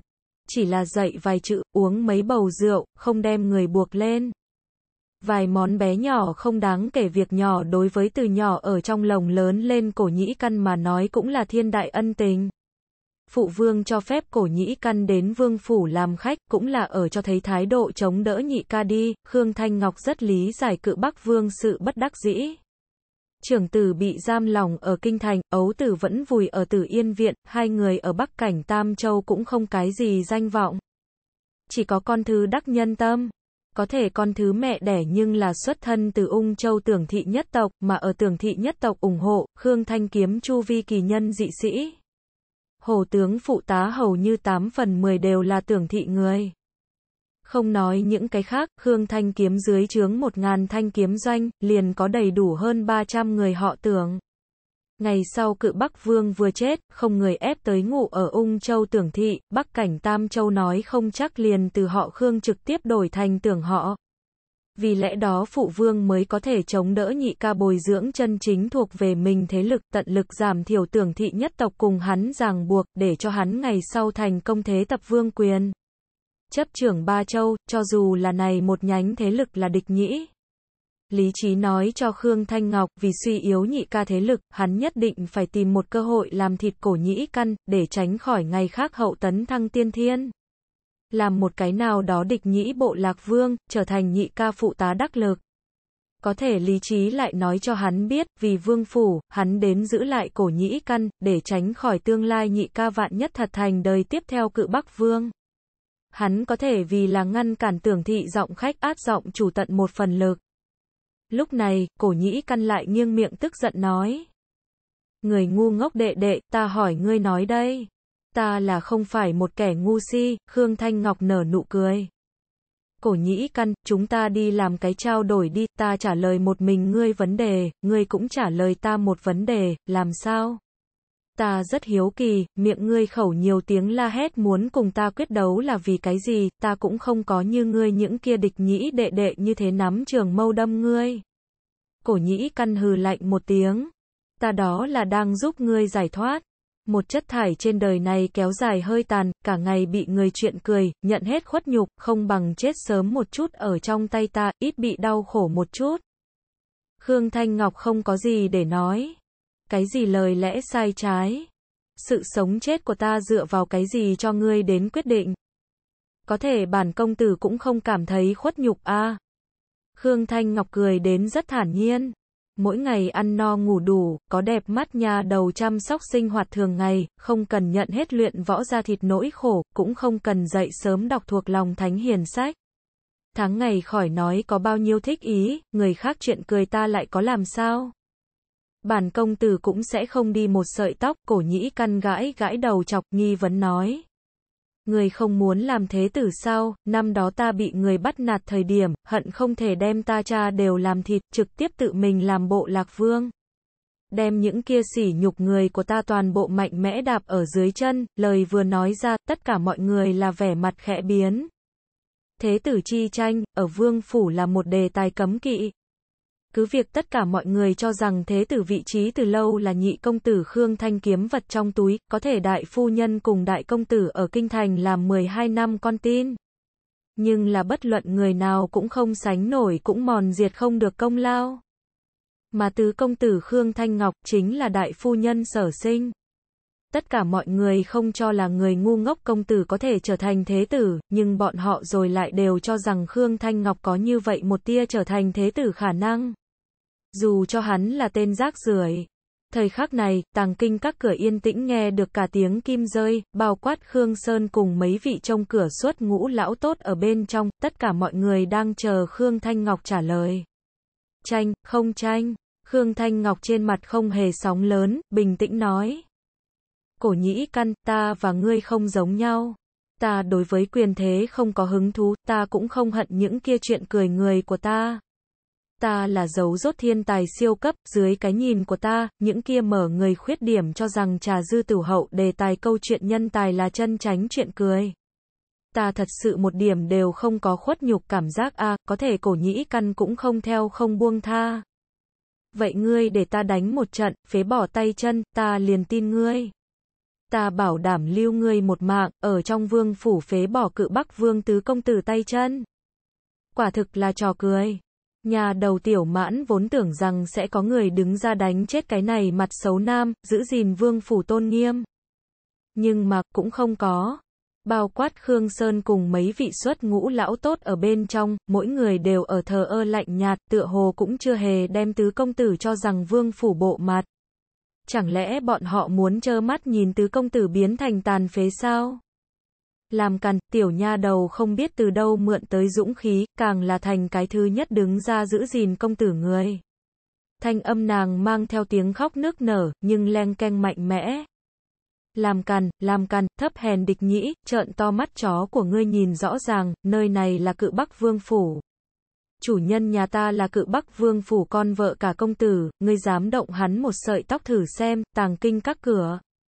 Một tiểu nha đầu dùng thân thể che ở một vị tuấn công tử trước mặt, hai mắt đẫm lệ, nhưng ánh mắt kiên định. Tình cảnh này dọa sợ rất nhiều người.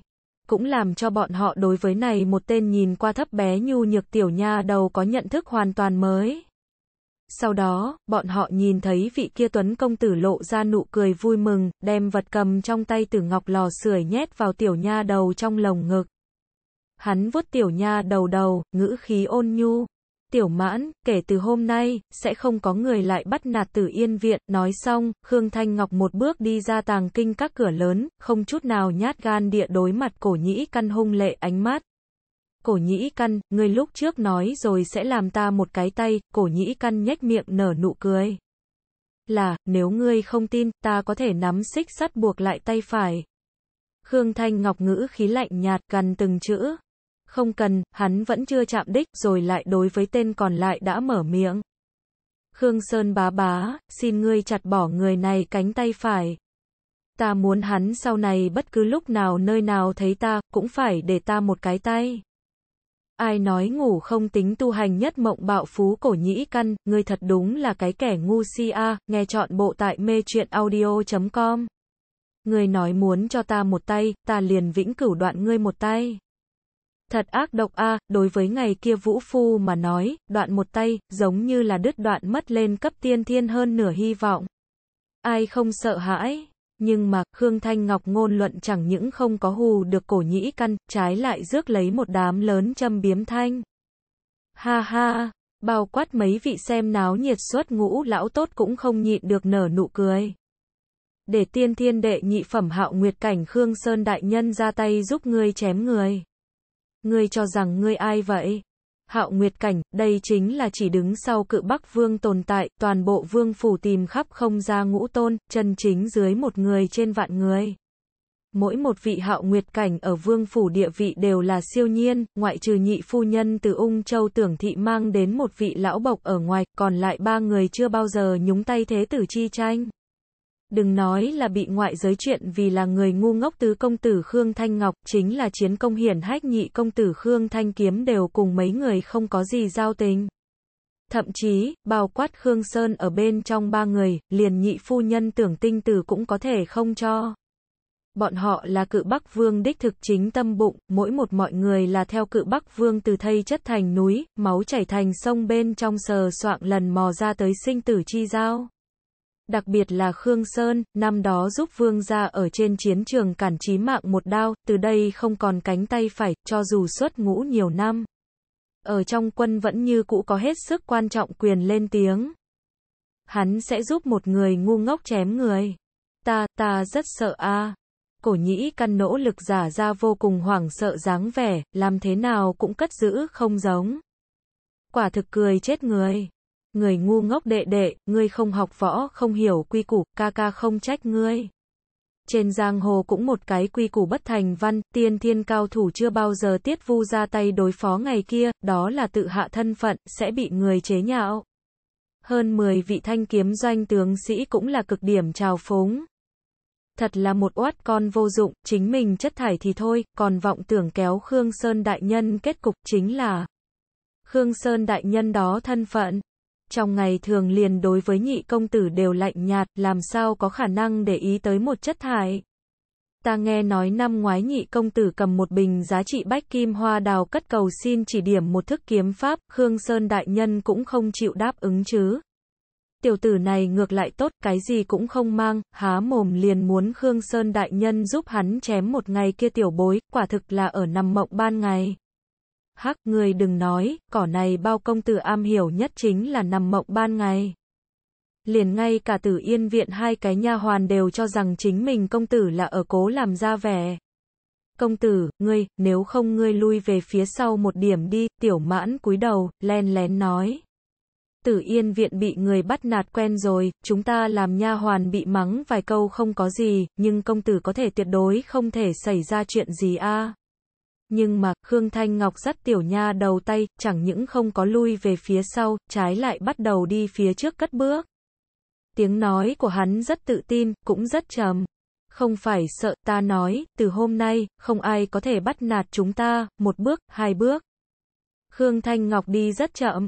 Nguyên nhân chủ yếu là nhỏ nha đầu vẫn lôi kéo cánh tay của hắn, không cho hắn đi về phía trước. Có thể ở đi tới bước thứ tư thời điểm, tiểu nha đầu không giật bởi vì nàng nghe được phía sau cái kia vẫn trầm mặc ít lời áo bào cho lão nhân đột nhiên mở miệng nói rồi một chữ.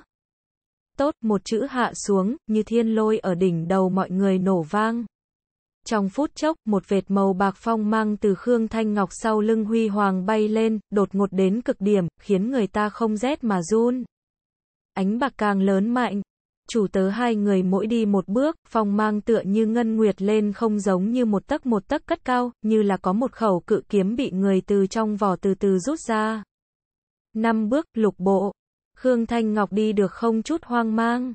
Nhà đầu tiểu mãn hơi sốt sáng, rồi lại không chịu ở trước mặt người ngoài rụt rè liền siết chặt chính mình công tử tay, sau đó hừ nhẹ một tiếng, thoáng mang tới một đầu. Đợi đến Khương Thanh Ngọc đi ra bước thứ 8 thời điểm, sau lưng một màn kia như hình với bóng phong mang dĩ nhiên đâm thủng tàng kinh các tầng thứ ba một mảnh ngói vụn. Tất cả mọi người nhìn thấy một màn quỷ dị này đều cảm thấy sau lưng có một trận ý lạnh thấu xương bọn họ có thể rõ ràng nhìn thấy phong mang một tấc một tấc cất cao, nhìn qua vô cùng chậm chậm, nhưng cảm giác mình làm sao cũng không tránh khỏi. Hai chân dường như cái đinh bình thường đóng đinh ở tại chỗ, dịch không ra nửa bước. Mấy cái xuất ngũ lão tốt cùng ba mươi mấy vị thanh kiếm doanh các tướng sĩ một mặt sợ hãi, bọn họ làm sao cũng sẽ không nghĩ đến. Vẫn không nhúng tay vào vương phủ việc nhà Khương Sơn lại sẽ thật sự giúp Khương Thanh Ngọc tạo thế. Hắn tại sao phải làm như thế? Cũng không nghe nói hắn và Khương Thanh Ngọc trong ngày thường có cái gì vãng lai a, Khương Sơn đại nhân. Thanh kiếm doanh một vị tu vi võ học đạt đến ngày kia cửu phẩm trung niên tướng lĩnh cúi đầu ôm quyền, mở miệng phục rồi mềm. Việc này là chúng ta có lỗi trước. Xin mời đại nhân dơ cao đánh khẽ, không nên cùng tiểu bối chấp nhặt, như vậy chỉ có thể có nhục chính mình thanh danh a. Hơn nữa, cổ nhĩ căn là vương gia chính mồm thừa nhận quý khách, không thể sai sót, nhưng mà người này mở miệng cũng không có trở qua lại ứng với. Khương Sơn thậm chí ngay cả một chữ cũng không nguyện nhiều lời. Cho tới cổ nhĩ căn. Hắn giờ phút này đã kinh ngạc sững sờ. Tiên thiên đệ nhị phẩm hạo nguyệt cảnh là cái gì khái niệm? Hắn cái kia vẫn muốn tự tay làm thịt làm thế nào cũng thịt không xong cha là một địch nhĩ trung đẳng bộ lạc vương, nhưng cũng chỉ là tiên thiên đệ nhất phẩm mệnh tinh cảnh thôi. Ở Khương Sơn trước mặt sợ là liền ba kiếm đều không chịu được nữa. Như vậy kiêu hùng, lại sẽ đối với một tu vi võ học chỉ là hậu thiên thất phẩm tiểu bối ra tay. Cũng không biết là cổ nhĩ căn vinh hạnh vẫn là bi ai. Bạch, ánh bạc như cầu vòng rồi lại ở trong chớp mắt như chiếc gương giống như vỡ vụn, phân mấy mươi phần ít hơn ánh bạc. Mỗi một phần đều đối ứng trong sân một người. Khương Sơn đại nhân, thanh kiếm doanh các tướng sĩ mỗi người đều nghiêm chỉnh huấn luyện, cho dù biết rõ đối mặt là tiên ngày đệ nhị phẩm, cũng không hề sợ hãi, bắt đầu đem một cái tay đặt ở bội kiếm bên hông trên. Thanh kiếm doanh xây dựng chế độ đủ quân số là một ngàn người, đều là ngọn xứng một cung một chiêu kiếm một trường thương kỵ binh nhẹ, nếu là ở vùng đất bằng phẳng trên chiến trường. Ngàn kỵ sung phong bên dưới, mặc dù là tiên thiên đệ tam phẩm cũng dám liều mạng một trận chiến.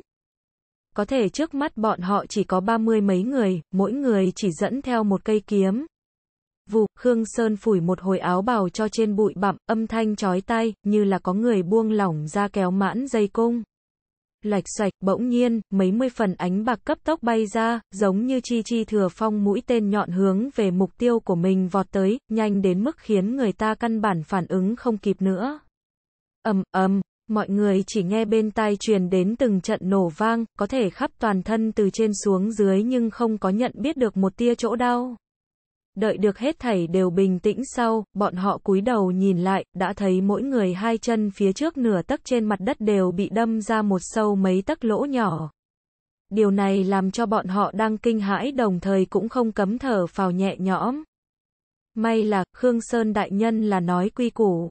Hắn hôm nay ra tay chỉ là một lần nhắc nhở, thanh thế hùng vĩ nhưng cũng không hại người. Nhưng mà, giữa trường nhưng có một người khác với tất cả mọi người. Đợi đến kiểm tra rồi tự thân sau khi an toàn, tất cả mọi người nhìn phía chiêu kiếm đó mục tiêu thực sự, địch nhĩ bộ lạc lục vương từ cổ nhĩ can. Sau một khắc, bọn họ không khỏi hít vào một ngụm khí lạnh. Hí, chỉ thấy cổ nhĩ căn nửa quỳ trên mặt đất, hai mắt vằn vện tiêm máu, mặt xấu xí trên một mảnh dữ tợn, giống như đầu nuốt sống người ta thú hoang. Mà cánh tay phải của hắn, đã là tận gốc mà đứt. Càng đáng sợ chính là, trên vai hắn vết thương trơn nhẵn, không có một giọt máu chảy ra, cụt tay cũng không rực mà bay, phảng phất hắn trời sinh chính là cái chỉ có một cái cánh tay người tàn tật. Hô, hô, cổ nhĩ căn thở hồn hển, cánh tay xé rách thống khổ cũng không cho tới để hắn mất đi bình tĩnh, dù sao cự Bắc Vương dưới trướng chưa bao giờ thiếu tục tiếp cụt tay quân y, chỉ cần có thể tìm được cụt tay hắn liền có thể khôi phục lại cùng nguyên lai như thế, nhiều lắm khí lực trên có tranh lệch. Đợi được lên cấp tiên thiên, điểm này tranh lệch cũng sẽ bị san bằng. Nhưng, hắn thật giống không tìm được chính mình cụt tay.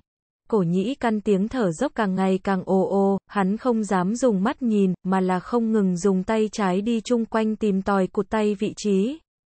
Bên trái không có, phía bên phải cũng không có. Hắn quả thực muốn điên rồi. Cổ nhĩ căn nhìn về phía bên trái một thanh kiếm doanh binh lính, gắt gao nhìn chằm chằm người kia, ý đồ từ đối phương trên mặt tìm tới có quan hệ chính mình cánh tay phải manh mối. Nhưng này tên lính không nói gì, chỉ là khe khẽ thở dài. Nhìn thấy tình cảnh này, cổ nhĩ căn không phải không thừa nhận một sự thật. Khương Sơn chiêu kiếm đó, không chỉ có là cắt đứt hắn toàn bộ cánh tay, càng là đem đoạn rơi cánh tay tước vì là bột mịn, thậm chí tiện thể giúp hắn cầm máu, liệu thương. Nói cách khác, hắn nửa đời sau cũng phải là một cụt tay tàn phế. Lên cấp tiên thiên hy vọng cũng biến thành xa vời. A a a, cổ nhĩ căn vung lên cánh tay trái hướng về trên mặt đất oanh mười mấy quyền, phát tiết lửa giận trong lòng. Tại sao, tại sao? Ngài một tiên thiên đệ nhị phẩm vì sao phải tự hạ thân phận đối phó ta một hậu thiên thất phẩm tiểu bối, hắn vẫn cứ không nghĩ ra Khương Sơn tại sao lại ra tay. Không sợ có nhục thanh danh sao? Lần này Khương Sơn không có một chữ quý như vàng, mà là hỏi ngược lại. Ngươi tự cao tu vi võ học hậu thiên thất phẩm, nhưng phải cùng nửa điểm tu vi đều không có tứ công tử lúc quyết đấu, làm sao không hỏi trước mình một chút vấn đề giống như vậy quy củ, từ trước đến giờ đều là do cường giả chế định, cũng từ trước đến giờ đều là do cường giả đánh vỡ, cùng lúc đó. Khương Thanh Ngọc cách cổ nhĩ căn có một đoạn khoảng cách an toàn địa phương ngừng lại, trả lời hắn lúc trước nói lên cái kia vấn đề. Lại thực sự có người ngu đến mức ở vương phủ la hét muốn phế đi bản công tử tay chân, a cổ nhĩ căn, không thể không nói, ngươi thật đúng là cái kẻ ngu si a. Ai nói ngủ không tính tu hành nhất mộng bạo phú nhà ngươi nha hoàn cũng không đơn giản a, nghe chọn bộ tại mê truyện audio.com. Ta, là kẻ ngu si. Lời này từ bị chính mình coi là chất thải Khương Thanh Ngọc trong miệng nói ra, ở cổ nhĩ căn nghe tới là như vậy trào phúng. Ở địch nhĩ bộ lạc bên trong, hắn vừa sinh ra đã bị người phát hiện trí lực rất thấp, 5 tuổi mới học được mở miệng nói chuyện, nhận hết bạn cùng lứa tuổi trào phúng nhưng hắn nhưng ngây ngô đem những kia lời mắng người cho rằng biểu dương. Đợi đến 8, 9 tuổi thời điểm, hắn trời sinh thần lực thiên phú dần dần triển lộ, cũng bắt đầu nghe hiểu đám người kia là ở chửi mình. Liền hắn nổi giận dùng nắm đấm đập chết mấy cái vẫn bắt nạt chính mình bạn cùng lứa tuổi. Từ ngày đó lên, hắn đã bị người dùng xích sắt buộc lại nhốt tại trong lồng tre, đánh mất tự do cùng nhân tính. Ăn sống thịt, uống người máu, liên tiếp mười mấy năm đều là như vậy. Mãi đến tận, mấy ngày trước đây, cự Bắc Vương phủ nhị công tử Khương Thanh Kiếm bắt làm tù binh hắn. Là Khương Thanh Kiếm dạy hắn biết chữ, cùng hắn trắng đêm tán gậu uống rượu. Cũng là Khương Thanh Kiếm ở hôm nay trên yến tiệc xin mời cự Bắc Vương ra tay chặt đứt buộc lại tay hắn chân mười mấy năm bốn cái xích sắt. Vì lẽ đó, làm Khương Thanh Kiếm xin hắn tới thăm dò đệ đệ Khương Thanh Ngọc thời điểm, cổ nhĩ căn không chút do dự liền đáp ứng rồi. Mặc dù hắn đã đoán được người này rất có thể là đang lợi dụng chính mình. Không, ta không ngốc, cổ nhĩ căn cắn răng, gần từng chữ. Khương Thanh Kiếm để hắn lấy quyết đấu danh nghĩa phế bỏ đệ đệ Khương Thanh Ngọc tay chân, nói hắn đã mua được vương phủ tất cả mọi người, sẽ không có người ra tay ngăn cản có thể vốn không ở đây trong cuộc Khương Sơn nhưng ra tay rồi. Lần này thăm dò cũng không phải là không có kết quả, chỉ ít có thể chứng minh Khương Thanh Ngọc ở Vương Phủ cũng không phải là tư cố vô thân.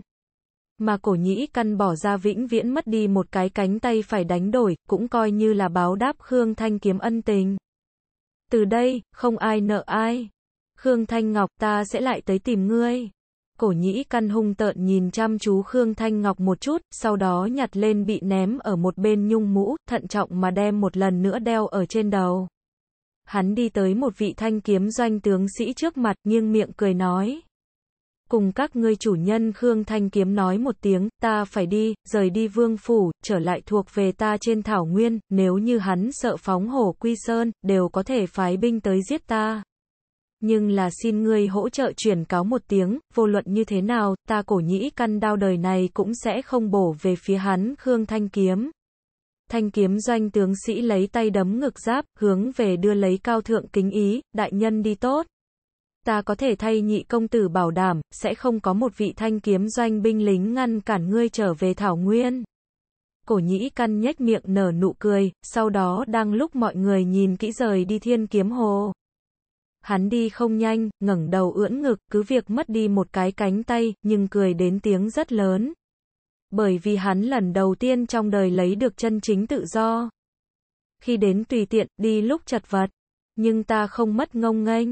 Cũng là người đáng thương a.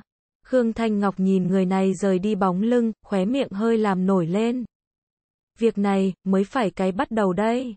Sau đó, hắn ở trước mặt tất cả mọi người, buông lỏng ra nắm chặt nha đầu tiểu mãn tay, chạm đích đối với sám pháo lão nhân ôm quyền nói. Khương Sơn bá bá, theo ta đi tử yên viện uống một bình rượu nóng, làm sao, Khương Sơn trầm mặc gật gật đầu. Cái gật đầu này, cũng mang ý nghĩa hắn sau này ở vương phủ địa vị sẽ không còn siêu nhiên. Nhị phu nhân tưởng tinh, nhị công tử Khương Thanh Kiếm đều sẽ đưa hắn coi là kẻ địch. Thậm chí cự Bắc Vương bản thân đều sẽ đối với hắn có điều bất mãn. Có thể Khương Sơn không có vẻ sợ hãi chút nào, thậm chí có điểm nhiệt huyết sôi trào. Bảy năm trước, ngu họ lão kiếm thánh rời đi vương phủ trước cùng hắn nói ra một câu. Lão phu đọc sách sau đều phải cùng người luận bàn mới có cảm ngộ, ngươi cả đời trốn ở tàng kinh các kiếm không ra khỏi vỏ, mặc dù nhìn mấy vạn bản kiếm trải qua cũng thành không được báu vật. Khương Sơn sờ sờ trống rỗng tay áo phải khẽ mỉm cười. Kiếm của hắn, đã hồi lâu chưa uống máu. Vương Phủ, sắp thay người lãnh đạo rồi. Đợi đến Khương Thanh kiếm đoàn người sau khi rời đi, một vị xuất ngũ lão tốt biểu hiện sầu lo, nhẹ nhàng nỉ non. Nhưng mà một vị khác lão tốt lại nói. Khương Sơn đại nhân một người căn bản không thay đổi được cái gì, đừng quên nhị công tử cũng có tiên thiên nhị phẩm chống đỡ. Nhị phu nhân từ ung châu nhà mẹ đẻ mang đến người lão bộc kia, cần phải so với Khương Sơn đại nhân sớm mấy chục năm bước vào tiên thiên nhị phẩm, hơn nữa vị kia cũng không có gãy một cánh tay. Nhưng cái thứ nhất mở miệng lão tốt nhưng lắc đầu nói. Ngươi không hiểu, năm đó đại phu nhân cùng đại công tử không đi kinh thành làm con tin thời điểm, vương phủ bốn vị tiên thiên nhị phẩm bên trong, ngoại trừ người lão bộc kia ở ngoài còn lại ba người cũng đều là cho thấy thái độ chống đỡ đại công tử A. Trở lại từ yên viện, nhìn thấy bị người đánh đập đến liểng xiềng phòng ngủ, Khương Thanh Ngọc không những không tức giận, trái lại mở miệng cười. Sớm biết cổ nhĩ căn ra tay nặng như vậy, vừa nãy nên đem hắn hai cái cánh tay toàn bộ tháo gỡ. Lập Xuân, trước tiên không cần quét dọn, đi tìm từ thúc báo tin, để hắn sắp xếp người đến ghi chép xử trí, để tránh khỏi có người không công nhận. Từ thúc từ nhị hổ là vương phủ lão quản gia, cùng Khương Sơn như thế, tu vi võ học là tiên ngày đệ nhị phẩm hạo nguyệt cảnh. Đại nha hoàn lập xuân cúi đầu gọi thanh là, sau đó chạm đích rời đi sân. Khương Thanh Ngọc dừng ở đại nha hoàn bóng lưng, ánh mắt phức tạp, tiện đà rồi hướng, khuôn mặt nhỏ vẫn hồng phác phác nha đầu tiểu mãn phân phó nói. Tiểu mãn, đi bị một bình rượu nóng đi. Nhớ kỹ, dùng bản công tử năm ngoái chôn cái kia một bình hạnh hoa xuân, nghe được hạnh hoa xuân, ba chữ, tiểu nha đầu một mặt nhức nhối. Tứ công tử ở vương phủ không được sủng ái, mỗi tháng ngân lượng chi phí chỉ có 100 lạng, ngoại trừ ăn uống ở ngoài cũng tích góp không xuống vài đồng tiền. Này một bình giá trị 300 lượng bạc hạnh hoa xuân đều là năm ngoái ngày Tết thời điểm lão quản gia phái người đưa tới. Này đã là toàn bộ tử yên viện có thể đem ra được quý nhất rượu. Vừa tới tử yên viện thời điểm, lập xuân tỷ nhưng là dặn dò rất lâu, này một bình rượu không tới công tử cưới vợ, nhà đầu ngày xuất giá cũng không thể lấy ra lãng phí. Có thể chính mình, Tựa hồ cũng rất ít nghe Lập Xuân tỷ giao phó a, biết rồi, ta đây liền đi, tiểu nha đầu lại nghĩ đến công tử khiên. Dắt tay mình tình cảnh đó, không khỏi khuôn mặt đỏ lên, cúi đầu rời đi. Một hồi lâu sau, Khương Sơn thấy Khương Thanh Ngọc đẩy ra hai cái nha hoàn, liền không hề gò bó, nói thẳng. Cái kia gọi Lập Xuân nha đầu có vấn đề. Ở tàng kinh các thời điểm, nữ tử này từ ở bề ngoài nhìn như từ đối với ngươi cực kỳ quan tâm, có thể nói hành biểu hiện nhưng còn xa không bằng cái kia gọi tiểu mãn nha đầu. Khiến người ta ấn tượng không sâu. Theo lý thuyết nàng phụng dưỡng cuộc sống của ngươi muốn đã lâu nhiều lắm, lẽ ra nên cái thứ nhất đứng ra bảo vệ ngươi. Bộc trước tiên chúa chết, là vương phủ quy củ, Khương Thanh Ngọc không nói một lời, trên mặt cũng không kinh sợ, phảng phất đã sớm biết được điểm này. Xem ra ngươi sớm đã có phát giác. Khương Sơn nói tiếp, mặt khác ta đang xuất thủ trong phút chốc len lén quan sát một hồi, nữ tử này nhìn về phía trong ánh mắt của ngươi có một tia bất an cùng áy náy, nói không chắc gần đây sẽ đối với ngươi bất lợi. Sư đệ cũng biết, nàng là nhị phu nhân người sao, Khương Thanh Ngọc nhỏ bé không thể nhận ra địa lắc lắc đầu. Không phải, nếu là nhị nương an bài, liền sẽ không có hôm nay này vừa ra. Lập Xuân tỷ chiếu cố ta 12 năm sinh hoạt thường ngày, toán toán tháng ngày, nàng mới tới năm đó đúng lúc là mẹ ta cùng đại ca đi kinh thành làm con tin thời điểm. Kỳ thực lúc đó mẹ ta vốn định mang ta cùng đi, bất đắc dĩ ta tuổi nhỏ nhiều bệnh, không chịu được tàu xe mệt nhọc khổ, lúc này mới bị ở tại vương phủ, Khương Sơn nhíu mày lại. Nói như vậy, nữ tử này có thể là kinh thành vị kia xếp vào ở vương phủ cơ sở ngầm, việc này có muốn hay không bẩm báo vương ra, Khương Thanh Ngọc bình tĩnh nói. Không cần, ta nghĩ phụ vương chỉ có thể so với chúng ta biết đến càng nhiều, Khương Sơn tán thành địa điểm gật đầu. Cự Bắc Vương đối với tứ công tử không còn để bụng nữa, cũng không cho tới an bài một cái thân phận không rõ nhà đầu phụng dưỡng chính mình con ruột mười mấy năm. Chỉ cần hắn án binh bất động, liền nói rõ hết thảy đều khi hắn nắm trong bàn tay. Khương Sơn liếc một cái trong sân cái kia giấu rượu gian nhà, lại không nhịn được tấm tắc lấy làm kỳ lạ nói. Nói đến, công tử bên người cái kia gọi tiểu mãn nhà đầu cũng thật không đơn giản a. Cứ việc nàng đã ở rất cố gắng che giấu chính mình, nhưng ta vẫn cứ có thể thấy, nàng có không kém tu vi võ học, Khương Sơn duỗi ra hai ngón tay đầu, làm thủ thế. Chỉ ít, hậu thiên bát phẩm.